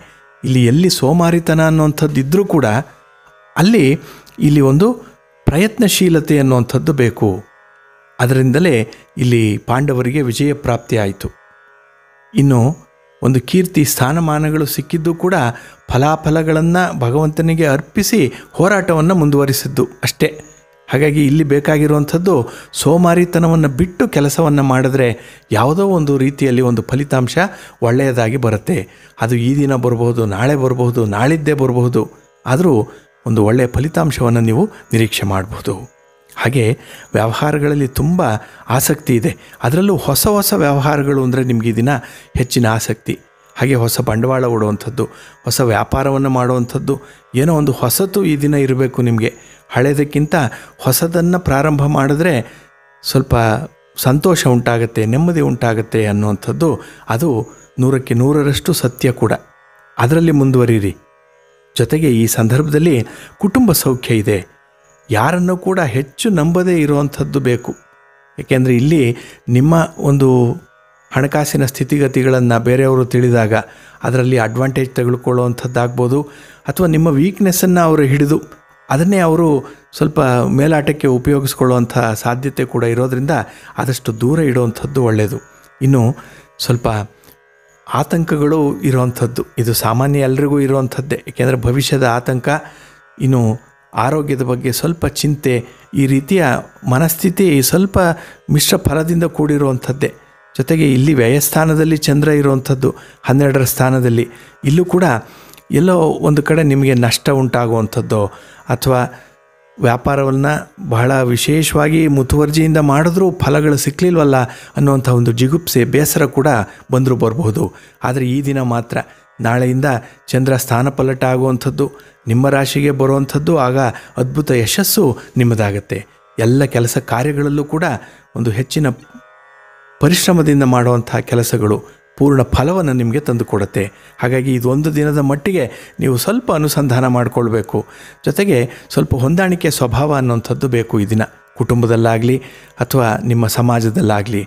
ನೀವು ಉದ್ಯೋಗ ಮಾಡ್ತಾ ಇರುವಂಥ ಒಂದು ಸ್ಥಳದಲ್ಲಾದರೂ ಕೂಡ ಸ್ವಲ್ಪ ಹೊಂದಾಣಿಕೆ, ಸ್ವಲ್ಪ ವಿಧೇಯತೆ ಅನ್ನುವಂಥದ್ದು ಇದ್ದರೆ ಈ ದಿನ ಕೆಲವು ಕೆಲಸ ಕಾರ್ಯಗಳಲ್ಲಿ ಅದ್ಭುತ ಯಶಸ್ಸು ನಿಮ್ಮದಾಗತ್ತೆ. ಈ ದಿನ ವರಮಹಾಲಕ್ಷ್ಮಿ ವ್ರತ. ಆದ್ದರಿಂದ ನಿಮ್ಮ ಇಷ್ಟ ದೇವರ ಪ್ರಾರ್ಥನೆಯನ್ನು ಮಾಡಿ, ಜೊತೆಗೆ ನೀವು ಲಕ್ಷ್ಮೀ ನೃಸಿಂಹ ಸ್ತೋತ್ರವನ್ನು ಪಠನೆ ಮಾಡಿ ಒಳ್ಳೆಯದಾಗತ್ತೆ ನಿಮ್ಮ ಅದೃಷ್ಟದ ದಿಕ್ಕು ಉತ್ತರ ದಿಕ್ಕು. ವೀಕ್ಷಕರೇ, ಕೊನೆಯದಾಗಿ ಡಿಸ್ಕ್ರಿಪ್ಷನ್ನಲ್ಲಿ ನೀಡಿರುವಂಥ ನಿಮ್ಮ ರಾಶಿಯ ಬೀಜ ಮಂತ್ರವನ್ನು ಪ್ರತಿದಿನ ತಪ್ಪದೆ ಕೇಳಿಸ್ಕೊಳ್ಳಿ. ನಿಮಗೆ ಒಳ್ಳೆಯದಾಗುತ್ತೆ. ಮಕರ ರಾಶಿ. ಮಕರ ರಾಶಿಯವರು ಈ ದಿನ ನುಡಿದಂತೆ ನಡೆಯುವಂತಹ ದಿನ. ನೀವು ಏನನ್ನ ಹೇಳ್ತೀರೋ ಅದೇ ರೀತಿ ಮಾಡುವಂಥವ್ರು. ಹಾಗೆ ಈ ದಿನದ ಸಂಕಲ್ಪದಂತೆ ಒಳ್ಳೆಯ ಕೆಲಸಗಳನ್ನು ಮಾಡಬೇಕು ಅನ್ನುವಂಥ ಅಭಿಲಾಷೆ ನಿಮ್ಮದು. ಅದೇ ರೀತಿ ಹೆಚ್ಚಿನ ಕೆಲಸಗಳು ಕೂಡ ನಿಮಗೆ ಕಾರ್ಯಪ್ರವೃತ್ತರಾಗ್ತೀರಿ. ಅದು ಕೊಡುವಂಥ ಒಂದು ಫಲ ನಿಮಗೆ ಉತ್ತಮವಾದಂಥ ಸಂತೋಷವನ್ನು ತಂದುಕೊಡುತ್ತೆ. ಇಲ್ಲಿ ಕೆಲಸ ಕಾರ್ಯಗಳು ಸ್ವಲ್ಪ ಕಷ್ಟವಾಗಬಹುದು. ನಿಮಗೆ ಪ್ರಾರಂಭ ಮಾಡಲಿಕ್ಕೂ ಅಡೆತಡೆಗಳಿದೆ. ಅದನ್ನು ಮುಕ್ತಾಯ ಮಾಡಲಿಕ್ಕೂ ಕೆಲವು ತೊಂದರೆಗಳು, ಕೆಲವು ತಾಪತ್ರೆಗಳು ಬಂದು ತಗಲಾಕೊಳ್ಳುವಂಥದ್ದು. ಆದರೂ ಕೂಡ ಕೆಲಸವನ್ನು ಬಹಳ ನಿಷ್ಠತೆಯಿಂದ, ಬಹಳ ಏಕಾಗ್ರತೆಯಿಂದ ಮಾಡುವಂಥ ಒಂದು ಪರಿಶ್ರಮ ಇದೆ ನಿಮಗೆ. ಆ ಒಂದು ಸ್ವಭಾವ ಇರೋದ್ರಿಂದಲೇ ಈ ದಿನದಲ್ಲಿ ಬಹುಮಟ್ಟಿನ ಕೆಲಸ ಕಾರ್ಯಗಳು ಯಶಸ್ವಿಯಾಗತ್ತೆ. ಹಾಗೆ ನಿಮ್ಮ ವ್ಯಾಪಾರ ವ್ಯವಹಾರಗಳಲ್ಲೂ ಕೂಡ ಅದ್ಭುತವಾದಂಥ ಲಾಭಾಂಶ ಅನ್ನುವಂಥದ್ದು ಇದೆ. ಏಕೆಂದರೆ ಲಾಭಸ್ಥಾನದಲ್ಲಿ ಚಂದ್ರ ಇರುವಂಥದ್ದು. ಈ ಸಂದರ್ಭದಲ್ಲೇ ಈ ಲಾಭಾಂಶ ಅನ್ನುವಂಥದ್ದು, ಅದರಲ್ಲೂ ಈ ಶತ್ರು ಸ್ಥಾನ ಅನ್ನೋತ ಕೂಡ ಹೇಳ್ತಾರೆ ಈ ಹನ್ನೊಂದರ ಸ್ಥಾನವನ್ನು. ಇಲ್ಲಿ ಶತ್ರುಗಳು ನಿರ್ನಾಮ ಆಗುವಂಥದ್ದು. ಅಂದರೆ ನಿಮ್ಮ ಯಾವುದೇ ಒಂದು ಪ್ರಗತಿಗೆ ಅಡ್ಡಿ ಆಗ್ತಕ್ಕಂತಹ ಶತ್ರುಗಳು ಅಥವಾ ನಿಮ್ಮ ಬಗ್ಗೆ ಸ್ವಲ್ಪ ಅವಹೇಳನಕಾರಿಯಾಗಿ ಮಾತಾಡುವಂತಹ ಹಿತಶತ್ರುಗಳು. ಅಂಥವರು ಈ ದಿನ ಸ್ವಲ್ಪ ಮೂಲೆ ಗುಂಪಾಗ್ತಾರೆ ಅವರ ಆಟ ಈ ದಿನ ಏನೂ ನಡೆಯಲ್ಲ. ಹಾಗಾಗಿ ನಿಮ್ಮ ಪ್ರಗತಿ, ನಿಮ್ಮ ಒಂದು ವ್ಯಾಪಾರ, ನಿಮ್ಮ ವ್ಯವಹಾರ ಅಥವಾ ನಿಮ್ಮ ಚಟುವಟಿಕೆಗಳೇ ಈ ದಿನ ಮುಂಚೂಣಿಯಲ್ಲಿರುವಂಥದ್ದು. ಹಾಗೆ ಈ ಸಂದರ್ಭದಲ್ಲಿ ಯಾವುದೇ ಒಂದು ಬರೀ ಮಾತಿನಿಂದ ಪ್ರಯೋಜನ ಇಲ್ಲ ಅನ್ನೋಂಥದ್ದು ನಿಮಗೆ ಗೊತ್ತಿದೆ. ಅದಕ್ಕೆ ಹೇಳ್ತಾರೆ, ನಾ ಕೇವಲೇನ ಸಾಹಸೇನ ಕಾರ್ಯಸಿದ್ಧಿರ್ಭವತಿ ಅಂತ ಹೇಳಿ. ಅಂದರೆ ಒಣಶಕ್ತಿ ಪ್ರದರ್ಶನದಿಂದ ಯಾವ ಕಾರ್ಯವೂ ಕೂಡ ಕೈಗೂಡಲ್ಲ. ಬರೀ ಮಾತು ಕೂಡ ಯಾವುದೇ ರೀತಿಯ ಕೆಲಸವನ್ನು ಕೈಗೂಡಿಸಲ್ಲ. ಹಾಗಾಗಿ ಮಾತಿನಲ್ಲಿ ಒಂದು ಸತ್ವ ಇರಬೇಕು. ಅಂದರೆ ಕೆಲಸದಲ್ಲೂ ಕೂಡ ಒಂದು ಸತ್ವ ಇರಬೇಕು. ಕೆಲಸವನ್ನು ಮಾಡೇ ಮಾಡ್ತೀನಿ ಅನ್ನೋವಂಥದ್ದು ಇರಬೇಕು. ಅದರಲ್ಲೂ ಕೆಲಸ ಯಾವುದೋ ಕೆಲಸ ಅನ್ನೋವಂಥದ್ದಲ್ಲ ಈ ದಿನ ನೀವು ತೆಗೆದುಕೊಳ್ಳುವಂತಹ ಕೆಲಸ ಬಹಳ ರಸವತ್ತಾದಂತಹ ಕೆಲಸ. ಕ್ರಿಯಾತ್ಮಕವಾದಂತಹ ಕೆಲಸ. ನಾಲ್ಕು ಜನರಿಗೆ ಮುಂದೆ ಬೇಕಾದಂತಹ ಒಂದು ಕೆಲಸ. ಆದ್ದರಿಂದ ಇಲ್ಲಿ ಬರೀ ಒಣ ಪ್ರದರ್ಶನ ಅನ್ನುವಂಥದ್ದಲ್ಲ. ಇಲ್ಲಿ ಪ್ರದರ್ಶನ ಮಾಡಿದ್ರೆ ಮಾಡೇ ಮಾಡ್ತೀರಿ ಕೆಲಸವನ್ನು. ಹಾಗಾಗಿ ಈ ಸಂದರ್ಭದಲ್ಲಿ ನಿಮ್ಮ ಕೆಲಸ ಕಾರ್ಯಗಳು ಎಷ್ಟರ ಮಟ್ಟಿಗೆ ಇದೆ ಅಂತ ಹೇಳಿದ್ರೆ ಆದಾಯ ಅನ್ನುವಂಥದ್ದಿದೆ. ಆದರೆ ಆದಾಯದ ಜೊತೆಗೆ ಖರ್ಚು ವೆಚ್ಚಗಳು ಆಗುವಂಥದ್ದು. ಇನ್ನು ಎಲ್ಲೋ ಒಂದು ಕಡೆ ಒಂದು ಮೋಸದ ತಂತ್ರಕ್ಕೆ ಬಲಿಯಾಗುವಂಥದ್ದು. ಏನೋ ಒಂದು ಸ್ಟ್ರಾಟಜಿಯನ್ನು ಮಾಡ್ತಾ ಇದ್ದಾರೆ ನಿಮ್ಮ ಹಿತಶತ್ರುಗಳು ನಿಮಗೆ ಆಗದವರು. ಹಾಗಾಗಿ ಅಂಥ ಒಂದು ಬಲೆಯಲ್ಲಿ ಕೆಡವಬೇಕು ಅನ್ನುವಂಥದ್ದು ಅವರ ಅಭಿಲಾಷೆ. ಒಂದು ಆನೆಯನ್ನು ಕೆಡ್ಡಕ್ಕೆ ಕೆಡವಿದ ಹಾಗೆ. ಆದರೆ ಸ್ವಲ್ಪ ಜಾಗ್ರತೆಯಿಂದ ನೀವು, ಎಚ್ಚರಿಕೆಯಿಂದ ನಿಮ್ಮ ನಡೆ ಇದ್ದರೆ ಯಾವ ಕೆಡ್ಡವೂ ನಿಮಗೆ ಏನು ಮಾಡಲ್ಲ. ಹಾಗಾಗಿ ಅದರಿಂದ ಕೂಡ ಪಾರಾಗಿ ಬರ್ತೀರಿ. ಕೆಲವರು ಬಲೆಯನ್ನು ಬೀಸಿರುವಂಥದ್ದು ಕೂಡ ಅವರೇ ನಿರಾಶರಾಗಿ, ಹತಾಶರಾಗಿ ವಾಪಸ್ಸು ಹೋಗ್ತಾರೆ. ಅಂಥ ಒಂದು ಸ್ಥಿತಿಯನ್ನು ನೀವು ಅವರಿಗೆ ಕಾಣಿಸ್ಬೇಕಾಗತ್ತೆ. ಅದಕ್ಕಾಗಿ ಒಂದು ಪ್ರಯತ್ನ ಬೇಕು. ಇನ್ನು ಮಾಡುವ ಕೆಲಸದಲ್ಲಿ ತುಂಬ ಪ್ರಗತಿ ಅನ್ನುವಂಥದ್ದು ಇದೆ. ಯಾಕೆಂದರೆ ನಿಷ್ಠೆ ಇದೆ, ಪ್ರಾಮಾಣಿಕತೆ ಇದೆ, ಧನಾತ್ಮಕವಾಗಿ ಆಲೋಚನೆ ಮಾಡ್ತೀರಿ, ವ್ಯಾಪಾರಿ ಧರ್ಮ ಅನ್ನುವಂಥದ್ದು ಇದೆ. ಒಟ್ಟಾರೆ ಈ ಸಂದರ್ಭದಲ್ಲಿ ನಿಮ್ಮ ಒಂದು ಕೆಲಸ ಕಾರ್ಯಗಳಿಂದ ಒಂದು ಪ್ರಗತಿ, ಆ ಕೆಲಸ ಕಾರ್ಯಗಳಿಂದ ಬರುವಂಥ ಒಂದು ಆದಾಯ, ಒಂದು ವರಮಾನ ಇದು ನಿಮ್ಮ ಮನಸ್ಸಿಗೆ ಸಂತೋಷವನ್ನು ತರುವಂಥದ್ದು. ಕೆಲವು ಭೂಲಾಭಗಳಾಗುವಂಥದ್ದು, ಸ್ಥಿರಾಸ್ತಿ ನಿಮಗೆ ಪ್ರಾಪ್ತಿಯಾಗುವಂಥ ಸಾಧ್ಯತೆ ಕೂಡ ಈ ದಿನ ಇದೆ. ಆದರೆ ಎಲ್ಲೋ ಒಂದು ಕಡೆ ಮನಕ್ಲೇಶ ಉಂಟಾಗುವಂಥದ್ದು. ನಿಮ್ಮ ಮಕ್ಕಳಿಂದಲೋ ಮನೆಯಲ್ಲಿರುವಂಥ ಕಿರಿಯರಿಂದಲೋ ಏನೋ ಒಂದು ಶುಭ ಸುದ್ದಿ ಅಲ್ಲ, ಅಶುಭ ಅಂತನೂ ಅಲ್ಲ, ಆದರೂ ಕೂಡ ನಿಮಗೆ ಒಂದು ನಿರಾಸೆಯನ್ನು ಮೂಡಿಸುವಂತಹ ಒಂದು ಸುದ್ದಿ ಬರುವಂಥದ್ದಾಗತ್ತೆ. ಹಾಗೆ ಈ ಸಂದರ್ಭದಲ್ಲಿ ನಿಮ್ಮ ಇಷ್ಟ ದೇವರನ್ನು ಸ್ಮರಣೆ ಮಾಡ್ತಾ ಇರಿ. ನೀವು ವಿಷ್ಣು ಸ್ತೋತ್ರವನ್ನು ಪಠನೆ ಮಾಡಿ ಈ ದಿನ. ಉತ್ತಮ ಫಲ ನಿಮ್ಮದಾಗತ್ತೆ. ನಿಮ್ಮ ಅದೃಷ್ಟದ ದಿಕ್ಕು ಪೂರ್ವ ದಿಕ್ಕು. ವೀಕ್ಷಕರೇ ಕೊನೆಯದಾಗಿ ಡಿಸ್ಕ್ರಿಪ್ಷನ್ನಲ್ಲಿ ನೀಡಿರುವಂಥ ನಿಮ್ಮ ರಾಶಿಯ ಬೀಜ ಮಂತ್ರವನ್ನು ಪ್ರತಿದಿನ ತಪ್ಪದೆ ಕೇಳಿಸ್ಕೊಳ್ಳಿ. ನಿಮಗೆ ಒಳ್ಳೆಯದಾಗತ್ತೆ. ಕುಂಭರಾಶಿ. ಕುಂಭರಾಶಿಯವರು ಈ ದಿನ ತುಂಬ ಸ್ವಾಭಿಮಾನಿಗಳು. ಅದರಲ್ಲೂ ಒಂದು ಹಠ ಛಲ ಅನ್ನುವಂಥದ್ದು ಕೆಲಸ ಕಾರ್ಯಗಳಲ್ಲಿ ಆತ್ಮವಿಶ್ವಾಸದಿಂದ ಮುಂದುವರಿಯುವಂಥ ಸಾಧ್ಯತೆ ಹೆಚ್ಚಾಗಿದೆ. ಹಾಗೆ ಈ ದಿನದ ಕೆಲಸ ಕಾರ್ಯಗಳಲ್ಲಿ ಹೆಚ್ಚಿನ ಪರಿಶ್ರಮದಿಂದ ಮಾಡುವಂಥದ್ದು ಅದು ಯಶಸ್ವಿಯಾಗಿ ನಿಮ್ಮ ನಿರೀಕ್ಷೆಯಂತೆ ಫಲವನ್ನು ಕೊಡುವಂಥ ಕಾರ್ಯಗಳೇ. ಇದಕ್ಕೆ ನಿಮ್ಮಲ್ಲಿರುವಂಥ ಒಂದು ಉತ್ಸಾಹವಾಗಲಿ ಅಥವಾ ಆಸಕ್ತಿ ಆಗಲಿ ಒಂದು ಛಲದ ಸ್ವಭಾವ ಆಗಲಿ ಕಾರಣವಾಗಿರುವಂಥದ್ದು. ಇದು ನಿಮ್ಮ ಒಂದು ಯಶಸ್ಸಿನ ಗುಟ್ಟು. ಕೆಲವರಿಗೆ ಆಶ್ಚರ್ಯ ಆಗಬಹುದು. ಯಾವ ರೀತಿಯಲ್ಲಿ ನೀವು ಕೆಲಸವನ್ನು ಮಾಡಿದ್ರಿ, ಯಾವ ರೀತಿಯಲ್ಲಿ ಇಲ್ಲಿ ಒಂದು ಸಕ್ಸಸ್ಸನ್ನು ಕಂಡಿದ್ದೀರಿ ಅಂತ ಹೇಳಿ ಆದರೆ ಅವರಿಗೆ ಗೊತ್ತಿರಬೇಕು ನಿಮ್ಮಲ್ಲಿರುವಂತಹ ಉತ್ಸಾಹ ಬಹಳ ವಿಶೇಷವಾಗಿರುವಂಥದ್ದು. ಜೊತೆಗೆ ಈ ಸಂದರ್ಭದಲ್ಲಿ ನಿಮ್ಮ ಹತ್ತರ ಸ್ಥಾನಕ್ಕೆ ಚಂದ್ರ ಬರುವಂಥದ್ದು. ಹಾಗಾಗಿ ಇಲ್ಲಿ ಉದ್ಯೋಗ ಸ್ಥಾನದಲ್ಲಿ ಚಂದ್ರ ಇದ್ದಾಗ ಹೆಚ್ಚಿನ ಪರಿಶ್ರಮದಿಂದ ಮಾಡುವಂಥ ಕೆಲಸಗಳು ಅಷ್ಟೇ ಒಂದು ಫಲಿತಾಂಶವನ್ನು ಕೂಡ ಕೊಡುತ್ತೆ. ಇದು ನಿಮಗೆ ಒಂದು ಸುಖ, ಸಂತೋಷವನ್ನು ತಂದುಕೊಡುವಂಥದ್ದು ಏಕೆಂದರೆ ಮಾಡುವಂತಹ ಕೆಲಸ ಆಗಲೇ ಒಂದು ಫಲಿತಾಂಶವನ್ನು ಕೊಟ್ಟಾಗ ಹೆಚ್ಚಿನ ನೆಮ್ಮದಿ ಸಿಕ್ಕತ್ತೆ, ಹೆಚ್ಚಿನ ಸಂತೋಷ ಅನ್ನೋವಂಥದ್ದು ಸಿಕ್ಕತ್ತೆ. ಹಾಗೆ ಈ ಸಂದರ್ಭದಲ್ಲಿ ಸಂಬಂಧಿಕರಿಂದ ಒಂದು ಸಹಾಯ, ಸಹಕಾರ ಅನ್ನುವಂಥದ್ದು. ನೀವು ಮಾಡುವಂಥ ಕೆಲವು ಕೆಲಸ ಕಾರ್ಯಗಳಿಗೆ ಈ ಸಂದರ್ಭದಲ್ಲಿ ಮೂರನೆಯವರ ಒಂದು ಸಹಕಾರ ಬೇಕಾಗತ್ತೆ. ಸಹಾಯ ಬೇಕು, ಅದು ಆರ್ಥಿಕ ಸಹಾಯ ಇರ್ಬೋದು, ಅಥವಾ ಬೌದ್ಧಿಕವಾದರೂ ಬೆಂಬಲ ಬೇಕಾಗತ್ತೆ. ಅಂತಹ ಎಲ್ಲವೂ ಕೂಡ ನಿಮಗೆ ಈ ದಿನ ಒದಗಿ ಬರುವಂಥದ್ದು. ಈ ದಿನ ಯಾವುದಕ್ಕೂ ಕೊರತೆ ಇಲ್ಲ. ನಿಮಗೆ ಹಣಕಾಸಿನ ನೆರವು ಬೇಕು ಅಂದರೆ ಕೊಡುವಂಥವರು ಇದ್ದಾರೆ. ಹಾಗೆ ನಿಮ್ಮ ಒಂದು ಮಾನಸಿಕವಾಗಿ ಬೆಂಬಲಕ್ಕೆ ಜನ ಬೇಕು ಅಂತ ಹೇಳಿದ್ರೆ ಅದನ್ನು ಬೂಸ್ಟ್ ಮಾಡುವಂತಹ ಜನ ಕೂಡ ಇದ್ದಾರೆ ನಿಮ್ಮಲ್ಲಿ. ಅದಕ್ಕಾಗಿಯೇ ಕೆಲಸಗಳು ಬಹಳ ಯಶಸ್ವಿಯಾಗಿ ಈ ದಿನ ಜರುಗತ್ತೆ. ಹಾಗೆ ನಿಮ್ಮ ಅನಿಸಿಕೆಯಂತೆ ನಡೆಯುತ್ತೆ ಅದು. ಈ ಸಂದರ್ಭ ಸ್ತ್ರೀಯರಿಗೆ ನಿಮ್ಮಲ್ಲಿ ಒಂದು ಒಂದು ದಾಷ್ಟಿಕ ಅನ್ನುವಂಥದ್ದು ಅಂದರೆ ಈ ದಿನ ಎಲ್ಲರನ್ನ ನಿಮ್ಮ ಒಂದು ನಿಯಂತ್ರಣಕ್ಕೆ ತೆಗೆದುಕೊಳ್ಬೇಕು ಅನ್ನುವಂಥದ್ದು, ನಿಮ್ಮ ಮಾತೇ ನಡೀಬೇಕು ಅನ್ನುವಂಥದ್ದಾಗತ್ತೆ. ಹಾಗೆ ಹೆಚ್ಚು ಕಡಿಮೆ ನಿಮ್ಮ ಮಾತನ್ನೇ ನೀವು ಇದನ್ನು ದಿನ ಗೆಲ್ಲಿಸ್ಕೊಳ್ತೀರಿ, ನಿಮ್ಮ ಹಠ ಸಾಧನೆಯನ್ನೇ ಮಾಡ್ತೀರಿ ಈ ಸಂದರ್ಭ. ಹಾಗೆ ಈ ದಿನ ಮುಂಚೂಣಿಯಲ್ಲಿರುವಂಥದ್ದು, ನಿಮ್ಮ ಒಂದು ಕನಸು ನನಸಾಗುವಂಥದ್ದು ಯಾಕೆಂದರೆ ಹಠದಿಂದಲಾದರೂ ಅಂತಹ ಕೆಲಸಗಳನ್ನು ಮಾಡಿಸ್ಕೊಳ್ಳುವಂಥದ್ದಾಗತ್ತೆ.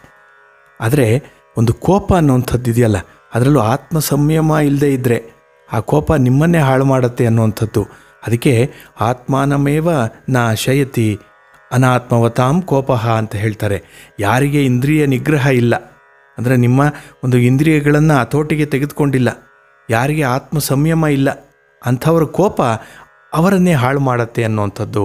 ಹಾಗಾಗಿ ಈ ಕೋಪ ಅನ್ನುವಂಥದ್ದು ನಿಮ್ಮನ್ನು ನೀವೇ ಒಂದು ರೀತಿಯಲ್ಲಿ ಶಿಕ್ಷಿಸ್ಕೊಂಡಾಗೆ, ನಿಮ್ಮ ಒಂದು ಅಧೋಗತಿಯನ್ನು ನೀವೇ ನೋಡಿಕೊಂಡಾಗೆ ಅನ್ನುವಂಥ ರೀತಿಯಲ್ಲಿರೋದ್ರಿಂದ ಈ ದಿನದಂದು ಯಾವುದೇ ಕಾರಣಕ್ಕೂ ಕೋಪವನ್ನು ಮಾಡಿಕೊಳ್ಬಾರ್ದು. ಕೋಪ ಬಂದರೂ ತಾತ್ಕಾಲಿಕ ನಿಮಗೆ. ಆದರೆ ಬಂದರೆ ಅದನ್ನು ನಿಯಂತ್ರಣ ಮಾಡುವಂಥದ್ದೇ ಕಷ್ಟವಾಗತ್ತೆ. ಆದರೂ ಕೂಡ ಕೋಪ ಮಾಡಿಕೊಳ್ಳದೇ ಇರುವಂಥದ್ದೇ ಬಹಳ ಬಹಳ ಉತ್ತಮವಾಗಿರುವಂಥದ್ದು ಇನ್ನು ನಿಮಗೆ ವಾಕ್ಸ್ಥಾನದಲ್ಲಿ ಗುರು ಇದ್ದಾಗ ಒಂದು ಒಳ್ಳೆಯ ಪಾಂಡಿತ್ಯ ಇದೆ, ಒಳ್ಳೆಯ ಬುದ್ಧಿವಂತಿಕೆ ಇದೆ, ಏನು ಮಾತಾಡಬೇಕು, ಮಾತಾಡಬಾರ್ದು ಅನ್ನುವಂಥ ಒಂದು ಕಲ್ಪನೆ ನಿಮಗಿದೆ.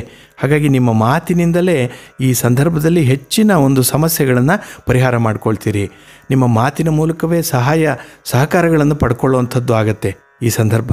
ಆದರೆ ಎಲ್ಲೋ ಒಂದು ಕಡೆ ದುಶ್ಚಟಗಳಿಗೆ ಸ್ವಲ್ಪ ಖರ್ಚು ವೆಚ್ಚಗಳಾಗುವಂಥದ್ದು, ಕೆಟ್ಟ ಹವ್ಯಾಸಗಳೇನಾದರೂ ಇದ್ದರೆ ಖರ್ಚು ವಿಪರೀತವಾಗಿ ಇರುವಂಥದ್ದು. ಆದರೆ ದಾಂಪತ್ಯ ಸೌಖ್ಯ ಇದೆ ಕುಟುಂಬದಲ್ಲಿ ನೆಮ್ಮದಿ ಇದೆ. ನೀವು ಪಡುವಂತಹ ಯಾವುದೇ ಒಂದು ಸುಖ ಕೂಡ ಅದು ನಿಮ್ಮ ನೆನಪಿನಲ್ಲಿ ಉಳಿಯುವಂಥದ್ದಾಗತ್ತೆ. ಹಾಗೆ ಈ ಸಂದರ್ಭದಲ್ಲಿ ನಿಮ್ಮ ಇಷ್ಟದೇವರ ಪ್ರಾರ್ಥನೆಯನ್ನು ಮಾಡಿ. ನೀವು ಈ ದಿನ ನವಗ್ರಹ ಸ್ತೋತ್ರವನ್ನು ಪಠನೆ ಮಾಡಿ. ಉತ್ತಮ ಫಲವನ್ನು ಪಡ್ಕೊಳ್ತೀರಿ. ಜೊತೆಗೆ ಅಶ್ವತ್ಥ ವೃಕ್ಷ ಪ್ರದಕ್ಷಿಣೆ ಮಾಡೋದನ್ನು ಮರಿಬೇಡಿ. ನಿಮ್ಮ ಅದೃಷ್ಟದ ದಿಕ್ಕು ಪೂರ್ವ ದಿಕ್ಕು. ವೀಕ್ಷಕರೇ, ಕೊನೆಯದಾಗಿ ಡಿಸ್ಕ್ರಿಪ್ಷನ್ನಲ್ಲಿ ನೀಡಿರುವಂಥ ನಿಮ್ಮ ರಾಶಿಯ ಬೀಜ ಮಂತ್ರವನ್ನು ಪ್ರತಿದಿನ ತಪ್ಪದೆ ಕೇಳಿಸ್ಕೊಳ್ಳಿ. ನಿಮಗೆ ಒಳ್ಳೆಯದಾಗತ್ತೆ. ಮೀನರಾಶಿ ಮೀನರಾಶಿಯವರು ಈ ದಿನ ನೀವು ಹಿಡಿಯುವಂತಹ ಕೆಲಸ ಕಾರ್ಯಗಳಲ್ಲಿ, ಪ್ರಾರಂಭ ಮಾಡುವಂತಹ ಕೆಲಸ ಕಾರ್ಯಗಳಲ್ಲಿ ಅದ್ಭುತ ಯಶಸ್ಸನ್ನು ಕಾಣುವಂಥ ದಿನ. ನಿಮ್ಮ ಪ್ರಯತ್ನ ಬಹಳ ವಿಶೇಷ ಪ್ರಯತ್ನವಾಗಿರುವಂಥದ್ದು. ಹಾಗಾಗಿ ಹಿಂದೆ ಕೆಲವು ಕೆಲಸಗಳಲ್ಲಿ ಆಗಿರುವಂಥ ಅನುಭವಗಳೇನಿದೆ, ಬಿದ್ದಿರುವಂತಹ ಪೆಟ್ಟುಗಳಿರ್ಬೋದು ಅಥವಾ ತಿಂದಿರುವಂತಹ ನೋವುಗಳಿರ್ಬೋದು, ಅದು ಈ ದಿನ ನಿಮ್ಮನ್ನು ಪರಿಪಕ್ವ ವ್ಯಕ್ತಿಯನ್ನಾಗಿ ಮಾಡುವಂಥದ್ದು. ಹಾಗಾಗಿ ಹಳೆಯ ಎಕ್ಸ್ಪೀರಿಯನ್ಸ್ ಏನಿದೆ ಅಥವಾ ಅನುಭವಗಳೇನಿದೆ, ಅದರ ಆಧಾರದ ಮೇಲೆ ಈ ಸಂದರ್ಭದಲ್ಲಿ ಮಾಡುವಂಥ ಪ್ರಯತ್ನಗಳು ಬಹಳ ಯಶಸ್ವಿಯಾಗುತ್ತೆ. ಆದರೆ ಎಲ್ಲೋ ಒಂದು ಕಡೆ ಉದ್ಯೋಗ ಸ್ಥಳದಲ್ಲಿ ಸ್ವಲ್ಪ ಕಿರಿಕಿರಿ ಇರ್ಬೋದು. ಮೇಲಧಿಕಾರಿಗಳ ನಿಮ್ಮ ಕೆಲಸವನ್ನು ಹೊಗಳಬಹುದು, ಆದರೂ ಕೆಲವೊಮ್ಮೆ ಸ್ವಲ್ಪ ಕೋಪ ಮಾಡಿಕೊಳ್ಳುವಂತಹ ಸಂದರ್ಭಗಳು ಇದೆ. ಹಾಗಾಗಿ ಮಿಶ್ರ ಫಲ ಆ ಸಂದರ್ಭದಲ್ಲಿ ಇರುವಂಥದ್ದು. ಇದಕ್ಕೆ ನಿಮ್ಮ ಚಂಚಲವಾದ ಮನಸ್ಸು ಕಾರಣವಾಗುವಂಥದ್ದು. ಹಾಗಾಗಿ ಅವರ ನಿರೀಕ್ಷೆಗೆ ತಕ್ಕಂಥ ಕೆಲಸಗಳಾಗದೇ ಇದ್ದಾಗ ಅವರಿಗೆ ಕೋಪ. ಕಾರಣ, ನಿಮಗೆ ಕೆಲಸ ಮಾಡುವಷ್ಟು ವ್ಯವಧಾನ ಈ ಸಂದರ್ಭ ಕೆಲವು ಕ್ಷಣಗಳಲ್ಲಿ ಬರಲ್ಲ. ಕೆಲವು ಸಮಯಗಳಲ್ಲಿ ಬರಲ್ಲ. ಇದರಿಂದ ಸ್ವಲ್ಪ ನಿಮಗೂ ಕೂಡ ಒಂದು ಬೇಸರ, ನಿಮಗೂ ಒಂದು ಹಿನ್ನಡೆ ಉಂಟಾಗುವಂಥದ್ದಾಗತ್ತೆ. ಆದರೆ, ಇದು ಮಾನಸಿಕ ವ್ಯಥೆಗೆ ಹೋಗಬಾರ್ದಷ್ಟೇ. ಒಂದು ರೀತಿಯಲ್ಲಿ ಡಿಪ್ರೆಷನ್ಗೆ ಹೋಗಬಾರ್ದು. ಈ ದಿನ ಕೆಲಸ ಆಗಲಿಲ್ಲ ಅಂತ ಹೇಳಿದ್ರೆ ನಾಳೆ ದಿನ ಆ ಕೆಲಸವನ್ನು ಮುಂದುವರಿಸ್ತೇನೆ ಅನ್ನುವಂಥ ಒಂದು ಮನೋದಾಢ್ಯತೆ ನಿಮ್ಮಲ್ಲಿರಬೇಕು. ಹಾಗೆ ಕೆಲಸ ಕಾರ್ಯಗಳಲ್ಲಿ ಜಯಪ್ರಾಪ್ತಿಯಾದರೂ ಕೂಡ, ಒಂದು ಆದಾಯ ಹೆಚ್ಚಾಗಿದ್ದರೂ ಕೂಡ, ನಷ್ಟವೂ ಕೂಡ ಅದ್ರ ಜೊತೆಗೆ ಸಮಸಮನಾಗಿ ಹೋಗುವಂಥದ್ದಾಗುತ್ತೆ. ಹಾಗಾಗಿ ಇದನ್ನು ಆದಾಯ ವ್ಯಯದಲ್ಲಿ ಒಂದು ರೀತಿಯಲ್ಲಿ ಸಮತೋಲನ ಇದೆ. ಎಷ್ಟು ಬರುತ್ತೋ ಅಷ್ಟು ಖರ್ಚಾಗಿ ಹೋಗುವಂಥದ್ದು. ಇನ್ನು ಉಳಿತಾಯದ ಪ್ರಮೇಯ ಈ ದಿನ ನಿಮಗೆ ಉದ್ಭವಿಸಲ್ಲ. ಬಹಳ ಅಪರೂಪ. ಏನಾದರೂ ಉಳಿತಾಯ ಮಾಡಬೇಕು ಅಂತ ಹೇಳಿದ್ರೆ ಸ್ವಲ್ಪ ಗಟ್ಟಿ ಮನಸ್ಸು ಮಾಡಿ, ನಿಮ್ಮ ವೆಚ್ಚಗಳಿಗೆ ಕಡಿವಾಣ ಹಾಕಿ, ಯಾವುದು ಅಗತ್ಯವಿದೆಯೋ ಅಂಥದ್ದಕ್ಕೆ ಮಾತ್ರ ಒಂದು ವೆಚ್ಚವನ್ನು ಮಾಡಿದ್ರೆ ಅಲ್ಪ ಸ್ವಲ್ಪ ಉಳಿತಾಯ ಮಾಡ್ಬೋದು. ಇಲ್ಲ ಅಂತ ಹೇಳಿದ್ರೆ ಹಣ ನೀರಿನಂತೆ ಹೋಗುವಂಥದ್ದಾಗತ್ತೆ. ಅದರಲ್ಲೂ ಈ ದಿನ ಮಹಾಲಕ್ಷ್ಮಿ ವ್ರತ ಆದ್ದರಿಂದ ಸ್ವಲ್ಪ ಹಣಕಾಸಿನ ನಿರ್ವಹಣೆಯಲ್ಲಿ ಜಾಗ್ರತೆಯನ್ನು ವಹಿಸಬೇಕಾಗಿದೆ. ಅಗತ್ಯವಿರುವಂಥ ಕೆಲಸಗಳಿಗೆ ಅಗತ್ಯವಿರುವಂತಹ ವಸ್ತುಗಳ ಖರೀದಿಗೆ ಮಾತ್ರ ಹಣವನ್ನು ಬಳಕೆ ಮಾಡಬೇಕು. ಉಳಿದಂತೆ ಹಣ ನಮ್ಮದಲ್ಲ ಅನ್ನುವಂಥ ರೀತಿಯಲ್ಲಿ ಅದನ್ನು ಬಿಟ್ಟುಬಿಟ್ಟಿರಬೇಕು ಹಾಗೆ ಈ ಸಂದರ್ಭದಲ್ಲಿ ಸ್ವಲ್ಪ ಕುಟುಂಬದಲ್ಲಿ ಅಹಿತಕರವಾದಂಥ ವಾತಾವರಣ ಇರ್ಬೋದು. ಏಕೆಂದರೆ ನಿಮ್ಮ ಒಂದು ತೀರ್ಮಾನಕ್ಕೆ ಅವರು ಬದ್ಧರಾಗಿಲ್ಲ ಅಥವಾ ನಿಮ್ಮ ಅಭಿಪ್ರಾಯಕ್ಕೆ ಅವರು ಬೇರೊಂದು ಅಭಿಪ್ರಾಯವನ್ನು ಹೇಳುವಂಥದ್ದು. ಹಾಗೆ ಏನೇ ಹೇಳಿದ್ರೂ ಕೂಡ ಅದರಲ್ಲಿ ಒಂದು ದೋಷವನ್ನು ಹುಡುಕುವಂಥದ್ದು ಅಥವಾ ಅದಕ್ಕೆ ಒಂದು ಬದಲಾವಣೆಯನ್ನು ತರುವಂತಹ ಪ್ರಯತ್ನ ಕುಟುಂಬಸ್ಥರಿಂದ ಆಗುವಂಥದ್ದು. ನಿಮ್ಮ ಪತಿ, ಪತ್ನಿ, ಮಕ್ಕಳು, ತಂದೆ, ತಾಯಿಯಂದರು, ಅತ್ತೆ, ಮಾವಂದರು, ಯಾರೇ ಇದ್ದರೂ ಕೂಡ ಕುಟುಂಬದಲ್ಲಿ ಅವರಿಂದ ಒಂದು ನಕಾರಾತ್ಮಕವಾದಂಥ ಒಂದು ಉತ್ತರ ಬರುತ್ತೆ ನಿಮ್ಮ ಒಂದು ಮಾತಿಗೆ. ಇದು ನಿಮ್ಮ ಮನಸ್ಸಿಗೆ ಒಂದು ಸ್ವಲ್ಪ ಬೇಸರವನ್ನು ಮೂಡಿಸುವಂಥದ್ದಾಗತ್ತೆ. ಆದರೂ ಕೂಡ ಇದನ್ನು ಕೂಡ ಓವರ್ಕಮ್ ಮಾಡ್ಬೋದು ನೀವು. ಇದನ್ನು ಮೀರಿ ನಿಲ್ಲಬಹುದು. ಆದರೆ ನಿಮ್ಮಲ್ಲಿರುವಂಥ ಶ್ರದ್ಧೆ ಎಷ್ಟಿದೆ? ನಿಮ್ಮಲ್ಲಿ ಮಾಡುವಂಥ ಕೆಲಸ ಕಾರ್ಯಗಳ ಒಂದು ಪ್ರಿಯಾರಿಟಿ ಅನ್ನುವಂಥದ್ದು ಏನಿದೆ? ಅದನ್ನು ಅವರಿಗೆ ತಿಳಿಸ್ಕೊಡ್ಬೇಕಾಗತ್ತೆ. ಇನ್ನು ಅತಿ ಭಾರಹ ಪುರುಷಂ ಅವಸಾದಯತಿ ಅಂತ ಹೇಳ್ತಾರೆ. ಯಾವುದು ಹೊರೋದಕ್ಕೆ ಅಸಾಧ್ಯವೋ ಅಂಥ ಭಾರವನ್ನು ಹೆಚ್ಚು ಹೊರಬಾರ್ದು. ಅಂದರೆ ಹೊರಲಿಕ್ಕೆ ಸಾಧ್ಯವಾದಂತಹ ಭಾರಕ್ಕಿಂತ ಹೆಚ್ಚು ಭಾರವನ್ನು ಹೊರುವಂತಾದರೆ ಅಲ್ಲಿ ಕ್ಷೀಣಿಸ್ತಾನೆ, ಅಲ್ಲಿ ಅವನತಿ ಉಂಟಾಗತ್ತೆ ಅನ್ನುವಂಥದ್ದು. ಹಾಗಾಗಿ ಈ ದಿನ ನಿಮ್ಮ ಒಂದು ಸಾಮರ್ಥ್ಯಕ್ಕೆ ಮೀರಿದ ಕೆಲಸಗಳನ್ನು ಮಾಡಬೇಡಿ. ನಿಮಗೆ ಎಷ್ಟು ಸಾಧ್ಯವೋ ಅಷ್ಟನ್ನು ಮಾಡಿ, ಕೈಲಾಗುವಷ್ಟು ಮಾತ್ರ ಮಾಡಬೇಕು. ಆಗದೆ ಇದ್ದದ್ದನ್ನು ಈ ದಿನ ಪ್ರಯತ್ನ ಮಾಡಬೇಡಿ. ಅದು ಅರ್ಧಂಬರ್ಧಕ್ಕೆ ಆಗಿ ನಿಲ್ಲುವಂಥ ಸಾಧ್ಯತೆಗಳೇ ಹೆಚ್ಚಾಗಿದೆ. ಈ ದಿನ ಸ್ವಲ್ಪ ಕೌಟುಂಬಿಕವಾಗಿ ಎಲ್ಲ ಒಂದು ಕಡೆ ಹಣಕಾಸಿನ ನೆರವು ಸಿಕ್ಕುವಂಥದ್ದು ನಿಮ್ಮ ಮಾತೃವರ್ಗದಿಂದಲೋ, ಪಿತೃವರ್ಗದಿಂದಲೋ, ಅವರಿಂದ ಈ ದಿನ ಸ್ವಲ್ಪ ಹಣಕಾಸಿನ ನೆರವು ನಿಮಗೆ ದೊರೆಯುವಂಥದ್ದಾಗತ್ತೆ. ಅದರಲ್ಲೂ ವಿಶೇಷವಾಗಿ ಈ ದಿನ ನಿಮ್ಮ ಕೆಲಸ ಕಾರ್ಯಗಳು ಬಹಳ ಯಶಸ್ವಿ ಆಗಬೇಕು. ಅದಕ್ಕಾಗಿ ವಿಘ್ನ ವಿನಾಶಕನಾದಂತಹ ಗಣಪತಿಯ ದರ್ಶನವನ್ನು ಮಾಡಿ, ಗಣಪತಿಯ ಸ್ತೋತ್ರವನ್ನು ಪಠನೆ ಮಾಡ್ತಾ ಇರಿ. ಜೊತೆಗೆ ಅಶ್ವತ್ಥ ವೃಕ್ಷ ಪ್ರದಕ್ಷಿಣೆಯನ್ನು ಮಾಡಿ, ವಿಶೇಷ ಫಲ ನಿಮ್ಮದಾಗತ್ತೆ. ನಿಮ್ಮ ಅದೃಷ್ಟದ ದಿಕ್ಕು, ಈಶಾನ್ಯ ದಿಕ್ಕು. ವೀಕ್ಷಕರೇ, ಕೊನೆಯದಾಗಿ ಡಿಸ್ಕ್ರಿಪ್ಷನ್ನಲ್ಲಿ ನೀಡಿರುವಂಥ ನಿಮ್ಮ ರಾಶಿಯ ಬೀಜ ಮಂತ್ರವನ್ನು ಪ್ರತಿದಿನ ತಪ್ಪದೆ ಕೇಳಿಸ್ಕೊಳ್ಳಿ. ನಿಮಗೆ ಒಳ್ಳೆಯದಾಗತ್ತೆ. ಪ್ರಿಯ ವೀಕ್ಷಕರೇ ಸಿರಿಗನ್ನಡ ಸುದ್ದಿವಾಹಿನಿಯ ಪ್ರೇರಕ ಶಕ್ತಿಯಾದಂಥ ತಾವೆಲ್ಲರೂ ಕೂಡ ವಾಹಿನಿಯ ಜನಪ್ರಿಯತೆಗೆ ಕಾರಣರಾಗಿದ್ದೀರಿ. ಪ್ರತಿದಿನ ನೀವು ನೀಡ್ತಾ ಇರುವಂತಹ ಸಲಹೆ, ಮಾರ್ಗದರ್ಶನ, ನಿಮ್ಮ ಸಮಸ್ಯೆಗಳು ಮತ್ತು ಅದಕ್ಕೆ ತಾವು ಬಯಸುವಂತಹ ಪರಿಹಾರ ಕ್ರಮಗಳು. ಹೀಗೆ ಹಲವು ಪ್ರಶ್ನೆಗಳಿಗೆ ನಮ್ಮಿಂದ ಸಾಧ್ಯವಾದಷ್ಟು ನಿಖರವಾಗಿ ಉತ್ತರಗಳನ್ನ ನೀಡ್ತಾ ಬಂದಿದ್ದೇವೆ. ಕೆಲವು ಪ್ರಶ್ನೆಗಳಿಗೆ ಉತ್ತರಗಳನ್ನು ನೀಡಲಿಕ್ಕೆ ಇನ್ನೂ ಸಾಧ್ಯ ಆಗಿಲ್ಲ. ಅದಕ್ಕಾಗಿ ಕ್ಷಮೆ ಇರಲಿ ಅಂತ ಹೇಳಿ ಕೇಳ್ತಾ, ಆದ್ರೆ ಈ ಇಮೇಲ್ನಲ್ಲಿ ನಿಮ್ಮ ಪ್ರಶ್ನೆಗಳಿಗೆ ಉತ್ತರಿಸಲು ಸ್ವಲ್ಪ ಕಷ್ಟ ಸಾಧ್ಯವಾಗ್ತಾ ಇದೆ. ಅದಕ್ಕಾಗಿ ನಮ್ಮೆಲ್ಲರ ಪ್ರಿಯ ವೀಕ್ಷಕರ ಅನುಕೂಲಕ್ಕಾಗಿ ಸ್ಪಂದಿಸುವಂತಹ ನಿಟ್ಟಿನಲ್ಲಿ ನಾವು ಹೊಸ ಬದಲಾವಣೆಯನ್ನ ತರಲಿಕ್ಕೆ ಇಚ್ಛೆ ಪಟ್ಟಿದ್ದೇವೆ ಅದನ್ನ ವಾಟ್ಸ್ಆಪ್ ಮೂಲಕ ತಮ್ಮನ್ನು ತಲುಪಲು ಪ್ರಯತ್ನವನ್ನು ಪಡ್ತಾ ಇದ್ದೀವಿ. ಅದಕ್ಕಾಗಿ ಈ ಕೆಳಗೆ ನೀಡಿರುವಂತಹ ವಾಟ್ಸ್ಆಪ್ ನಂಬರ್ಗೆ ನಿಮ್ಮ ಅಭಿಪ್ರಾಯಗಳನ್ನ, ನಿಮ್ಮ ಪ್ರಶ್ನೆಗಳನ್ನ, ಸಂದೇಹಗಳನ್ನ ಕಳುಹಿಸಿ ಉತ್ತರವನ್ನು ಪಡ್ಕೊಳ್ಳಿ. ಇಲ್ಲಿ ಒಂದು ವಿಶೇಷ ಸೂಚನೆ ಏನಂದ್ರೆ, ಈ ವಾಟ್ಸ್ಆಪ್ಗೆ ಕೇವಲ ಮೆಸೇಜ್ಗಳಿಗೆ ಮಾತ್ರ ಅವಕಾಶ ಇದೆ. ಈ ನಂಬರ್ಗೆ ಯಾವುದೇ ಕರೆಗಳನ್ನು ಮಾಡಲು ಸಾಧ್ಯ ಆಗಲ್ಲ. ಆದ್ರಿಂದ ವೀಕ್ಷಕರು ಈ ಬದಲಾವಣೆಯನ್ನ ಗಮನಿಸಿ ಎಂದಿನಂತೆ. ಸದಾ ತಮ್ಮ ಆಶೀರ್ವಾದ ಹಾಗೂ ಬೆಂಬಲವನ್ನ ಬೇಡ್ತಾ ಇದೆ ಸಿರಿಗನ್ನಡ ಸುದ್ದಿವಾಹಿನಿಯ ತಂಡ. ಎಲ್ಲರಿಗೂ ಕೂಡ ನಮಸ್ಕಾರಗಳು. ಪ್ರಿಯ ವೀಕ್ಷಕರೇ, ಇಷ್ಟು ಹೊತ್ತು ದ್ವಾದಶ ರಾಶಿಗಳ ದಿನ ಭವಿಷ್ಯವನ್ನು ಕೇಳಿದ್ರಿ. ಈಗ ಅದೃಷ್ಟ ಸಂಖ್ಯೆಗಳ ಬಗ್ಗೆ ತಿಳಿಯೋಣ. ಕರ್ಕಾಟಕ ಕನ್ಯಾ ರಾಶಿಯವರ ಅದೃಷ್ಟ ಸಂಖ್ಯೆ ಒಂದು, ಮೇಷ, ವೃಷಭ ಎರಡು, ಸಿಂಹ ಮೂರು, ವೃಶ್ಚಿಕ ನಾಲ್ಕು, ಮಿಥುನ ಐದು, ಧನಸ್ಸು ಮೀನ ಆರು, ಮಕರ ಏಳು, ತುಲಾ ಎಂಟು, ಕುಂಭ ಒಂಬತ್ತು.